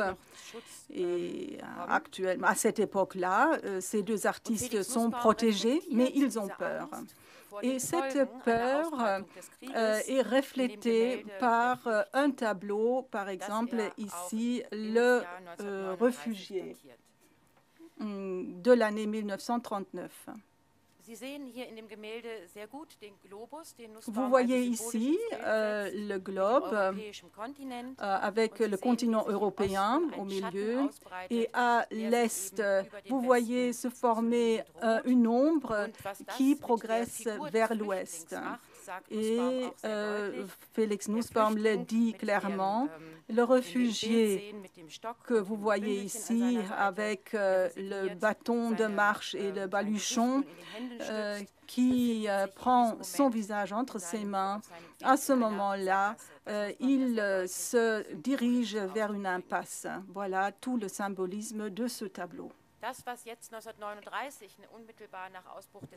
Donc en 1939, après le déclenchement de la guerre, avant c'était euh, une théorie, maintenant ça devient euh, de, de la réalité en mai 1940. Félix Nussbaum et Felka Platek sont arrêtés par les autorités belges. Ce sont des étrangers ennemis dans cette situation de guerre. Et tandis que Felka Platek est mis, remise en liberté, euh, Félix Nussbaum est déporté dans le camp de Saint-Cyprien. Et euh, il est euh, foncièrement choqué par, le, par constater les conditions inhumaines dans ce camp euh, marqué par euh, la pauvreté, la faim et la mort. En août 1940, euh, Félix Nussbaum fuit de ce camp. Il réussit sa fuite. Il signe un accord pour regagner le Reich allemand. Donc, il gagne un, convoi qui devrait le transporter de, du sud de la France vers l'Allemagne. Mais à Bordeaux, Félix Nussbaum, quand il y a un arrêt, euh, il réussit à fuir. C'était une fuite très risquée euh, avec euh, le chemin de fer, avec le bus. Mais puis, il regagne la rue Archimède 22 à Bruxelles, dont, où l'attend déjà Felka Platek. Ähm, äh, Pendant son emprisonnement, Felka Platek, mm, donc pendant l'emprisonnement de Félix Nussbaum, Felka Platek était à Bruxelles et elle, euh, elle a noué une amitié avec euh, Madame Etienne. Mm, la famille Etienne, c'était les euh, voisins, un étage en dessous. Et Felka Platek et Madame Etienne se sont liés d'amitié. Et pendant cette époque-là, Madame Etienne était un soutien important pour Felka Platek. Felka Platek l'exprime par un, portrait de son ami c'est Madame Étienne, peint par Felka Platik, de manière académique, une, un portrait très doux, tout comme des portraits commandés dont Felka Platik a fait énormément jusqu'en 1942. À côté, vous voyez un autoportrait de Felka De la même année, en 1940, euh, simplement pour souligner que Felka Platek euh, avait une activité artistique à cette époque et pour euh, vous montrer les, les, points forts de sa peinture. Ces tableaux sont pleins d'expressions, sont expressifs dans leur nature. Mm, et euh, la, le mode de peinture est quasiment expressif. Äh, äh, Lors du retour de Félix Nussbaum, euh, la Belgique est sous occupation allemande et euh, Madame Schramm en a déjà euh, parlé en détail ce que cela voulait dire pour Félix Nussbaum et Felka Platek. Il n'avait plus aucune perspective de vie. Mm, nous ne savons plus grand-chose de Felka Platek pendant cette période, mais Félix Nussbaum a peint énormément de tableaux et voilà, vous avez une petite impression de son œuvre, euh, deux tableaux peints en 1941, euh, La peur et La femme euh, en pleurs. Ce sont deux tableaux qui montrent que pendant cette période, pour euh, euh, Félix Nussbaum, qui revit euh, la vie limitée par tous les côtés et qui vit la peur existentielle, mais même dans cette situation, il souhaite mettre l'homme, l'être humain, au, au, centre de cette peinture. Il y a beaucoup de figures allégoriques, les émotions telles que le deuil ou la peur. En été 1942, et Laurence Schramm y a déjà fait euh, référence, il y avait des, des, des, descentes, euh, des razzias. Et à ce moment-là, Felka et Félix se refugent dans la clandestinité. Mais à quelle époque euh, ça se passe et où ils trouvent refuge? Nous ne disposons pas euh, de beaucoup d'informations à ce sujet. Et les informations dont on dispose sont parfois contradictoires. Une chose, c'est euh, sûr, il, il, se refuge chez la famille Ledel à Etterbeek. Et à cette époque, je crois qu'on parle de six mois, Félix Nussbaum ne, peint pas euh, des tableaux euh, en huile, mais travaille euh, sur des, des objets artistiques pour la fille de la famille Ledel, par exemple ici, la feuille que vous voyez ici, ou l'assiette. Mm, pour le euh, deuxième anniversaire de la petite Karine. Les Delts se réfugient euh, également euh, dans la clandestinité. Euh, ils sont manifestement des résistants en contact avec des mouvements de résistance. Ils décident d'aller dans les Ardennes et ils proposent à Felka et Félix de les accompagner, mais ils refusent de le faire. eux, ils retournent dans la rue Archimède 22. Le propriétaire euh, euh, de l'immeuble euh, leur donne une petite, un petit logement, une mansarde, mais donc, ils ne reprennent pas leur ancien logement, mais se logent dans cette mansarde. ils font beaucoup de dessins, à droite Felka, à gauche Félix Nussbaum. Et vous voyez ici la gave et l'arrosoir. Donc, il travaille vraiment dans un espace très restreint. Quant à Felka Platek, ce sont les dernières œuvres mais pour euh, Félix euh, Nussbaum, il reprend la peinture en huile euh, en avril 1943. Et les tableaux qu'il peint hum, se font dans la rue Générale Gratry.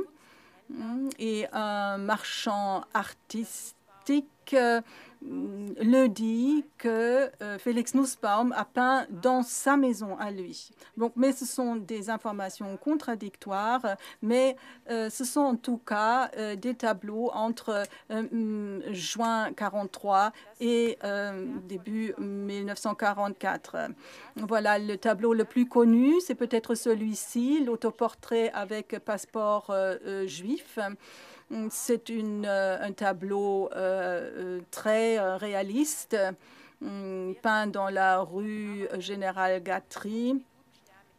Il serait forcé de porter l'étoile juive constamment, de mm, porter sur lui constamment son, sa pièce d'identité.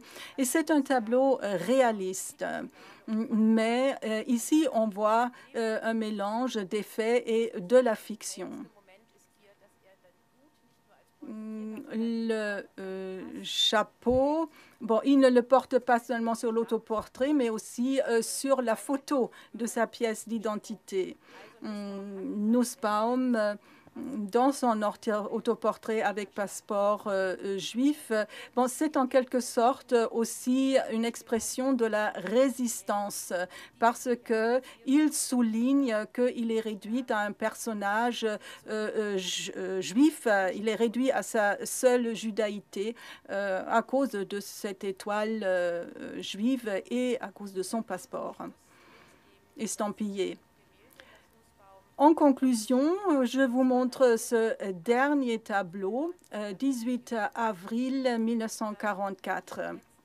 Dans ce dernier tableau, c'est en quelque sorte un zoom qui rassemble euh, toutes ses expériences, tout son, toute sa carrière artistique. Et vous voyez ici le symbole de la descente de l'humanité.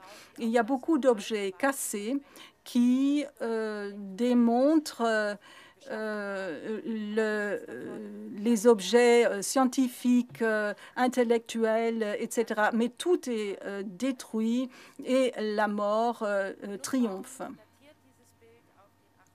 C'est daté le 18 euh, avril 1944 euh, et deux mois plus tard, les deux, Felka et Félix, sont arrêtés dans leur cachette dans la rue Archimède euh, le 21 juin 1944 pour être plus précis.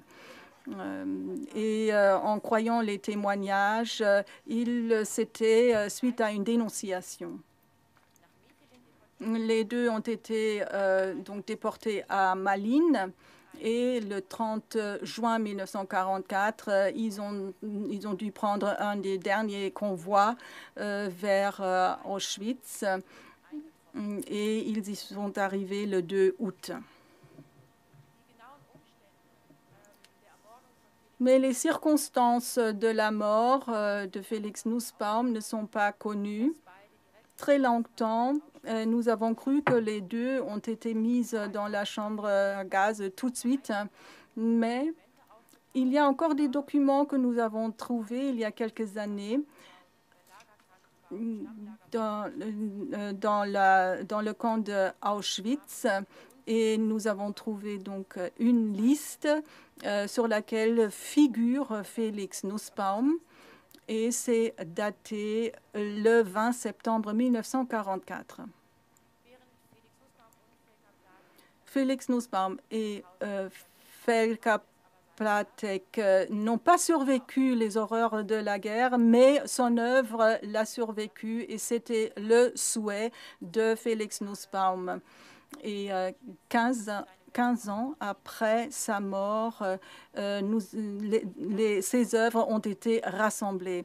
Merci beaucoup de votre attention et excusez-moi d'avoir été un peu trop longue.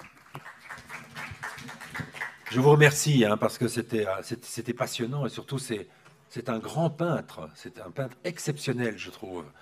Et euh, voilà. Et, je pense qu'il il était important de, rappeler ici euh, sa mémoire. Alors, il me revient maintenant moi de parler. Alors, je vais essayer de respecter les temps de parole. Euh, donc, je vais parler justement de, pour, clôturer un, peu cet après-midi. Donc, on a parlé effectivement de ce qu'a été les conditions des Juifs durant la, Seconde Guerre mondiale, l'obligation pour ces gens d'entrer souvent et, certainement en clandestinité. On, est, on, on a eu, la chance d'écouter mon ami Frédéric, qui nous a relaté effectivement un travail extraordinaire, un travail d'enquête sur un événement comme il y en a eu beaucoup. Pas le millième de ce que je voulais dire. Il n'a pas dit. il n'a pas. Mais, mais, mais l'avantage, c'est que tu as écrit, et ça, c'est essentiel. Les écrits restent. Et puis je vous remercie aussi pour votre intervention qui était passionnante. Et moi, je, vais un peu terminer ça en parlant de, justement de la mémoire de la Shoah. À quel moment est-ce que finalement en France et surtout en Belgique, on, a, on s'y est intéressé Puisque, comme nous le savons, il a fallu attendre près de 30 ans, sinon 40 ans, pour que cette mémoire-là s'impose. Alors si la Shoah aujourd'hui, qu'on le veuille ou non, est le modèle mémoriel par excellence, dans nos sociétés démocratiques, la mémoire de la Shoah s'est imposée en vertu cardinale elle est devenue euh, omniprésente, au point qu'on pourrait parler d'hypermnésie. Il se dégagerait presque un sentiment de saturation, voire de trop-plein. Encore la Shoah, toujours la Shoah. Arte n'en finira-t-elle jamais? Peut-être. Reste que ce phénomène n'est pas fortuit. Alors pourquoi est-ce qu'on parle de la Shoah? Eh bien, ça s'explique bien sûr par l'exceptionnalité de l'entreprise criminelle nazie. La Shoah est, qu'on le veuille ou non, un événement sans précédent dans l'histoire humaine. Il y a eu d'autres génocides, mais cet événement est sans précédent. Il n'est pas unique, mais il est sans précédent. Et surtout par les excès de la période quasi-amnésie qui l'a précédé. C'est qu'après le procès de Nuremberg, l'Europe a connu une période de silence et de refoulement vis-à-vis de cet événement.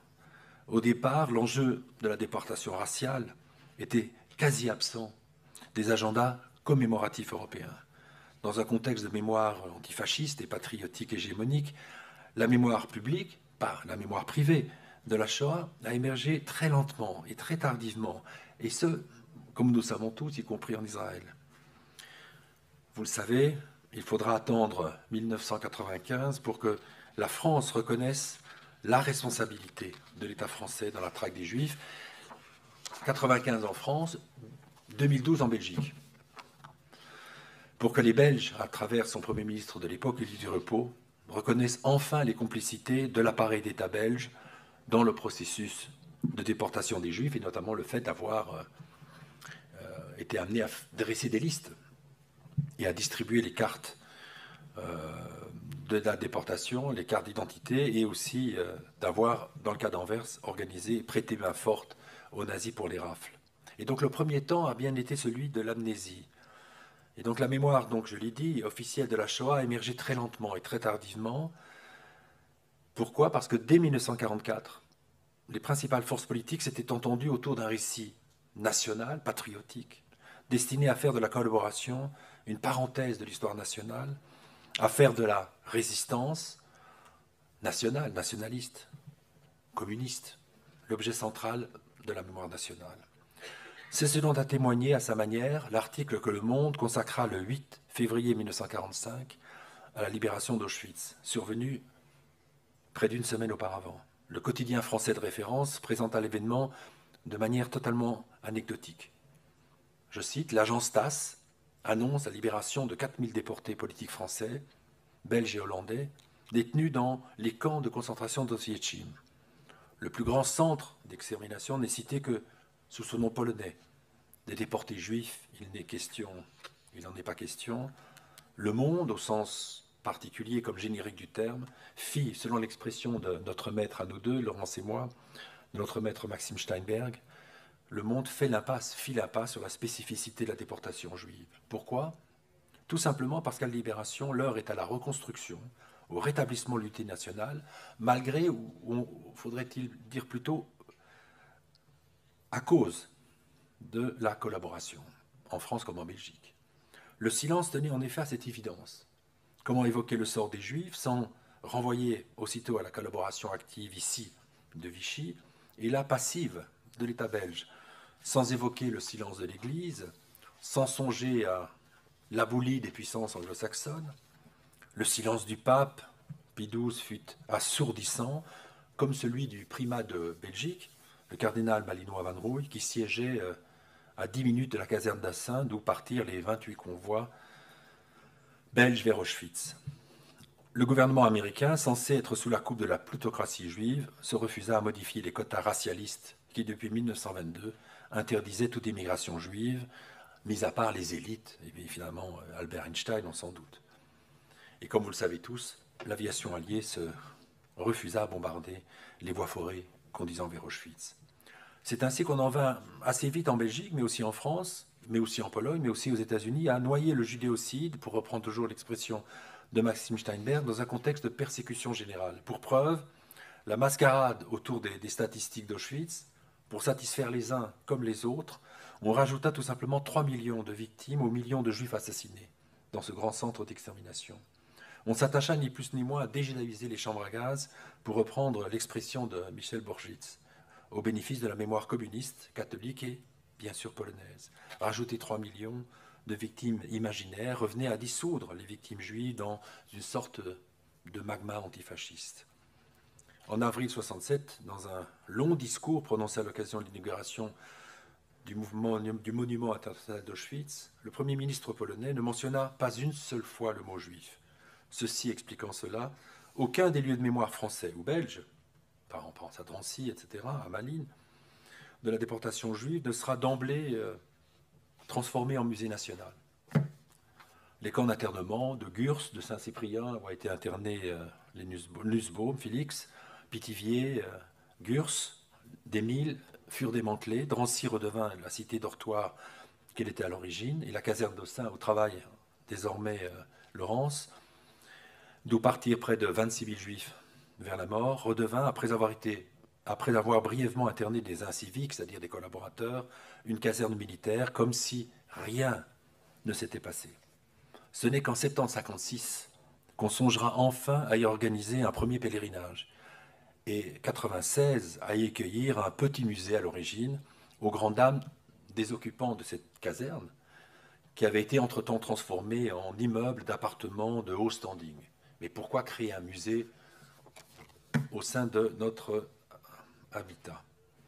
Dans cette perspective résistentialiste, pour reprendre le concept forgé par Henri Rousseau, l'impasse sur le sort spécifique des Juifs resta entier, comme en témoigne, vous le savez encore, le fameux film documentaire magnifique d'Alain René, Nuit et brouillard. Dans ce documentaire de 32 minutes, je suppose qu'on continue à, à projeter dans les écoles de France et de Navarre, et qui est dédié à la dénonciation des crimes nazis, le mot juif n'est prononcé qu'une seule fois, dans une liste de victimes de l'extermination. Bref, tout excellent que ce film, que ce documentaire soit, il est, on peut dire surtout, représentatif de la mémoire résistentialiste pour gommer aussi les complicités françaises dans la déportation des Juifs de France.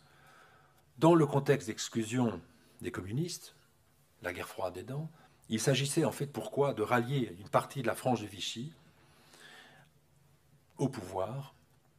Et ce sera la même chose en Belgique. Encore une fois, guerre froide oblige. Alors, les Juifs. Eh bien, les Juifs n'eurent d'autre choix que de faire bon gré mal gré, profil bas. Le temps était à l'oubli, à l'amnésie. Le leur était bien moins à la revendication, à la protestation, à la victimisation, qu'à la reconstruction, qu'à la résilience, qu'à la résignation forcée. Les rescapés n'étaient pas audibles, et ce pour diverses raisons. D'abord, leurs paroles se heurtaient au doute, à l'incrédulité, à l'agacement. Ensuite, ils étaient surtout, et ça c'est important, bien moins nombreux à revenir, et, évidemment, de la déportation. Alors des statistiques le clair.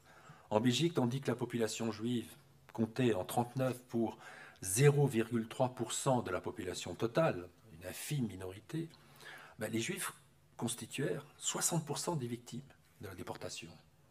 43% des Juifs de Belgique furent assassinés contre 0,16% de la population globale belge. Alors, la mémoire des 1215, si je ne me trompe, juifs et des 15 survivants de Tziganes d'Auschwitz fut ainsi logiquement engloutie dans celle des 3, 30 000 autres déportés de toutes les catégories. Dans toute l'Europe, les récits des Juifs furent logiquement ignorés au profit des témoignages des politiques, des résistants, dont les morts apparurent autrement héroïques. Il est difficile d'imaginer aujourd'hui la difficile réception des premiers récits autobiographiques sur la Shoah, en Belgique comme en France, ou encore en Italie. Le génocide des Juifs apparaissait hors sujet. Si c'est un homme de Primo Levi, ne se vendra qu'à 1500 exemplaires. Alors la question des procès, comme celle des pensions d'après-guerre, confirme la très faible attention, pour ne pas dire plus, accordée aux morts comme aux rescapés des déportations raciales. La Belgique refusera, et là tu l'avais souligné, tout statut particulier aux déportés raciaux. Pour être reconnu par l'État belge, il fallait que le déporté ait été de nationalité belge au moment de la déportation, alors que, comme l'a expliqué, l'a rappelé Laurence, plus de 90% des, des, juifs en Belgique étaient apatrides, en tout cas d'origine étrangère, n'étaient pas belges. Et il fallait aussi avoir accompli un acte patriotique, ce qui, reconnaissez-le, n'était pas évident dans le cas d'un... Et un bon comportement au camp aussi. Oui, dans le cas d'un simple civil, d'une mère accompagnant ses enfants vers la mort, d'un vieillard, d'un grabataire, d'un nourrisson, gazé à la Russie d'Auschwitz du, seul fait de sa judéité. Pire encore, lorsqu'en 1960 l'Allemagne fédérale décida de verser 80 millions de Deutschmark au titre de réparation de la déportation, l'État belge spolia les déportés raciaux, donc les juifs, au motif qu'ils n'étaient pas belges au moment de la déportation. La justice ne fut guère plus favorable aux juifs. Dans les grands procès d'après-guerre, sans être pour autant réellement occultée, la problématique du génocide des juifs ne, fut jamais au, cœur des réquisitoires. En Belgique comme en France, ben, la Shoah ne figura qu'au titre de circonstances aggravantes. Ce ne sera qu'en 1980 que s'ouvrira à Kiel le procès de la solution finale de la question juive en Belgique, plus de 35 ans après les faits. Après le suicide d'Ernst Ehlers, Kurt H., le chargé des affaires juives, comparaîtra seul et ne sera condamné qu'à sept ans d'emprisonnement. On comprend dès lors, sans peine en quoi, dans ce contexte d'impunité totale des bourreaux, mais aussi des nombreux collaborateurs, la question de l'amnistie et même du pardon accordé aux repentis a pu poser question. Rappelons qu'en 61, le Parlement belge votait une loi dite Vermeulen du nom d'un ministre socialiste qui la porta, une loi réhabilitant dans leurs droits civiques et politiques tous les collaborateurs qui en fait la demande, c'est-à-dire en repentance, soit quelques 50 000 personnes, parmi lesquelles de nombreux collaborateurs flamands de gros calibre. Comment accepter d'effacer des crimes qui n'avaient été ni réellement jugés, ni réparés, et, faut-il encore le préciser, ni réellement documentés? C'est que globalement, et là c'est un autre fait majeur, c'est que globalement l'université et les centres de recherche, tant en Belgique qu'en France, en fait avaient ignoré le génocide, la Shoah. En France, mis à part le CDJC où nous sommes, aujourd'hui mémorial de la Shoah, et ces remarquables chercheurs, Bilik, Poliakov, Ehlers, le champ de la Shoah n'est guère, labouré. Il en était de même en Belgique jusqu'à la Révolution. Maxime Steinberg, un chercheur solitaire, qui ne sera jamais reconnu par l'université belge, à l'exception de l'Institut d'études du judaïsme de l'ULB. Créé en 1967, le Centre de recherche et d'études historiques de la Seconde Guerre mondiale, l'ancêtre du CEGES, qui est le grand centre de recherche sur, euh, je dirais aujourd'hui, la Seconde Guerre mondiale et l'après-guerre, fit l'impasse sur la question juive jusqu'aux années 2000. En l'an 40, la Belgique occupée de Jules Gérard Libois et de José Kodovitch, qui est publié en 70, renvoyait la question juive vers une annexe rédigée dans la hâte par une tierce personne. Cette occultation du sort des déportés raciaux fut le fait des pouvoirs publics, des universitaires, mais aussi, et là c'est important aussi à souligner, des organisations patriotiques et antifascistes, qui comptaient énormément de juifs, bien évidemment, des juifs communistes. Au sortir de la guerre, la mémoire des déportations est dominée par les communistes, à l'origine de la création en France de la Fédération nationale des déportés, internés, résistants et patriotes, et en Belgique de l'amicale des ex-prisonniers politiques d'Auschwitz-Birkenau, camp et prison de Silésie, qui s'est transformée aujourd'hui en Fondation Auschwitz et qui fait d'excellent travail. Créée sous les du Parti communiste belge, cette amicale, où les juifs sont pourtant majoritaire, et on, comprend pourquoi, défendra becs et ongles, jusqu'à la chute du communisme, une représentation qui privilégiera la seule déportation politique, c'est-à-dire une vision exclusivement basée sur les faits de résistance, au détriment de la spécificité raciale des déportations depuis la caserne d'Ossan Malines. L'amicale refusera d'ailleurs d'intégrer les déportés juifs non politiques, c'est-à-dire les déportés raciaux, qui devront constituer en 1953 leur propre amicale pour défendre, en vain, nous l'avons vu, leur droit à la pension. Cette amicale eut notamment pour objectif la mise en place par deux fois du pavillon belge d'Auschwitz, puisque vous savez qu'il y avait des pavillons, il y a toujours des pavillons nationaux à Auschwitz, inauguré une première fois en 1965, puis une seconde fois en 1982. Le pavillon en 1965 fit quasi l'impasse sur la Shoah, et ce quand bien même 99% des déportés de Belgique le furent, vous le savez, du seul fait de leur judéité. Sur les 60 documents qui seront exposés, qui furent exposés, seuls 6 concernaient la déportation juive. Auschwitz n'est pas encore le symbole de la déportation dite raciale.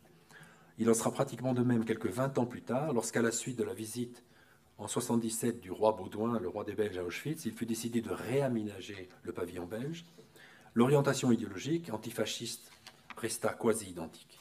Elle resta donc antifasciste et résistentialiste. À nouveau, le nouveau pavillon n'évoquait pas la Shoah. L'installation principale due à Serge Creuse constituait en une vitrine qui donnait à voir un salon que l'on supposait vidé à la hâte par ses occupants pour cause de rafle. Un salon typique d'une famille belge, et pas juive. L'absence du moindre signe juif, mais d'un tableau de Bruegel, accroché au mur, figurait non pas la singularité de la Shoah, mais bien l'universalité de la déportation. Tout Belge devait s'imaginer qu'il aurait pu être victime des rafles et des déportations. Ben, nous savons qu'il n'en était rien. 99% des 27 000 déportés de Malines furent déportés parce que juifs, au supposait-elle, 1% par que tziganes. Les photos et documents exposaient l'exode, la vie quotidienne dans la Belgique occupée, les radios clandestines, les bombes V1, V2, les, prisonniers soldats en Allemagne, la presse clandestine, la résistance, le sabotage, les prisonniers internés, dans une perspective toujours universaliste et antifasciste.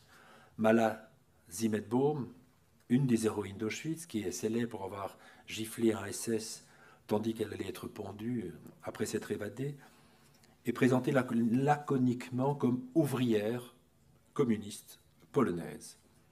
Jeune sioniste d'obédience libérale, Mala était certes d'origine polonaise, mais pas plus communiste qu'ouvrière. Jusqu'à la chute du mur en 89, la Fondation Auschwitz restera fidèle à sa vision antifasciste, comme en témoigne cette curieuse mais passionnante interview que Maurice Goldstein et Paul Alter, que j'ai bien connu, respectivement président du comité international d'Auschwitz et président de la Fondation Auschwitz, accordèrent au politiste Jean-Charles Chourek. Le débat portait sur l'occultation supposée au réel de la Shoah, tant par les responsables de la Fondation Auschwitz que par les responsables du Comité international d'Auschwitz. Cette interview est très intéressante, elle est curieuse, dans la mesure où les réponses sont autant empreintes de franchise et de candeur que de mauvaise foi. Alors je cite Maurice Goldstein.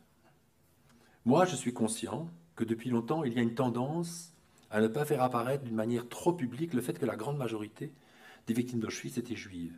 Et j'ai questionné à ce sujet, il y a bien 15 ans, des camarades polonais. Ils m'ont répondu en substance, nous, on ne classe pas les gens comme les nazis l'ont fait. Pour nous, les juifs de Belgique étaient des Belges.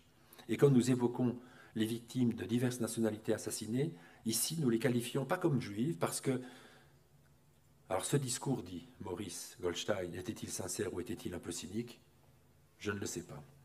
Et pour reprendre dans cette même interview Paul Alter, il dit, personnellement, et je vous le dis honnêtement, j'ai été choqué par la création d'un bloc spécifiquement juif et je me suis dit que c'était une concession que le gouvernement polonais ou les autorités du musée avaient faite justement aux réclamations des communautés juives de par le monde.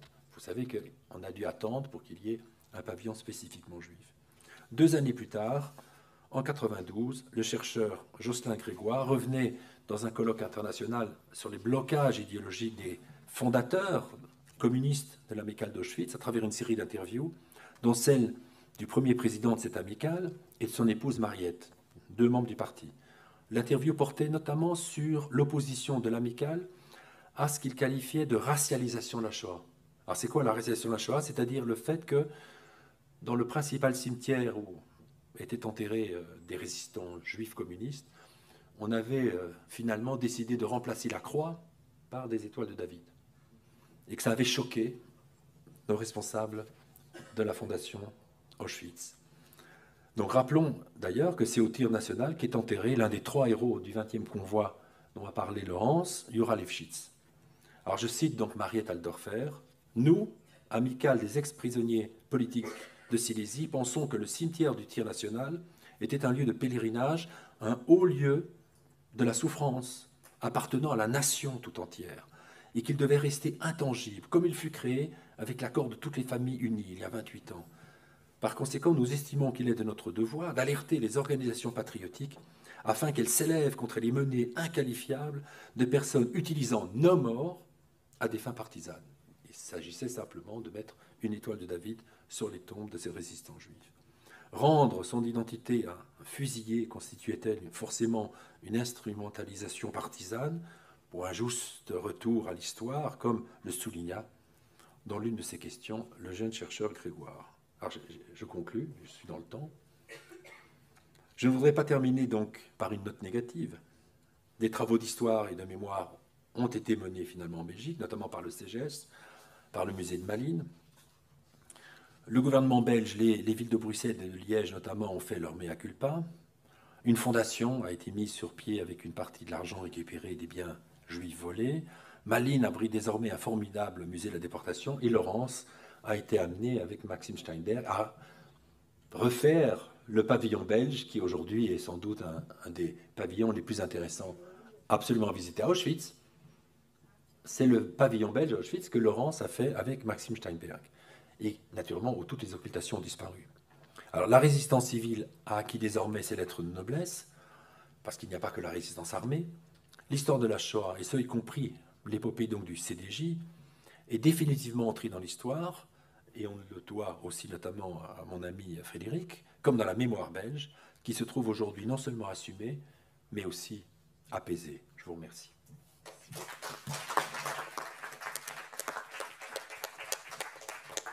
Merci, un grand merci à tous les quatre pour cet après-midi belge.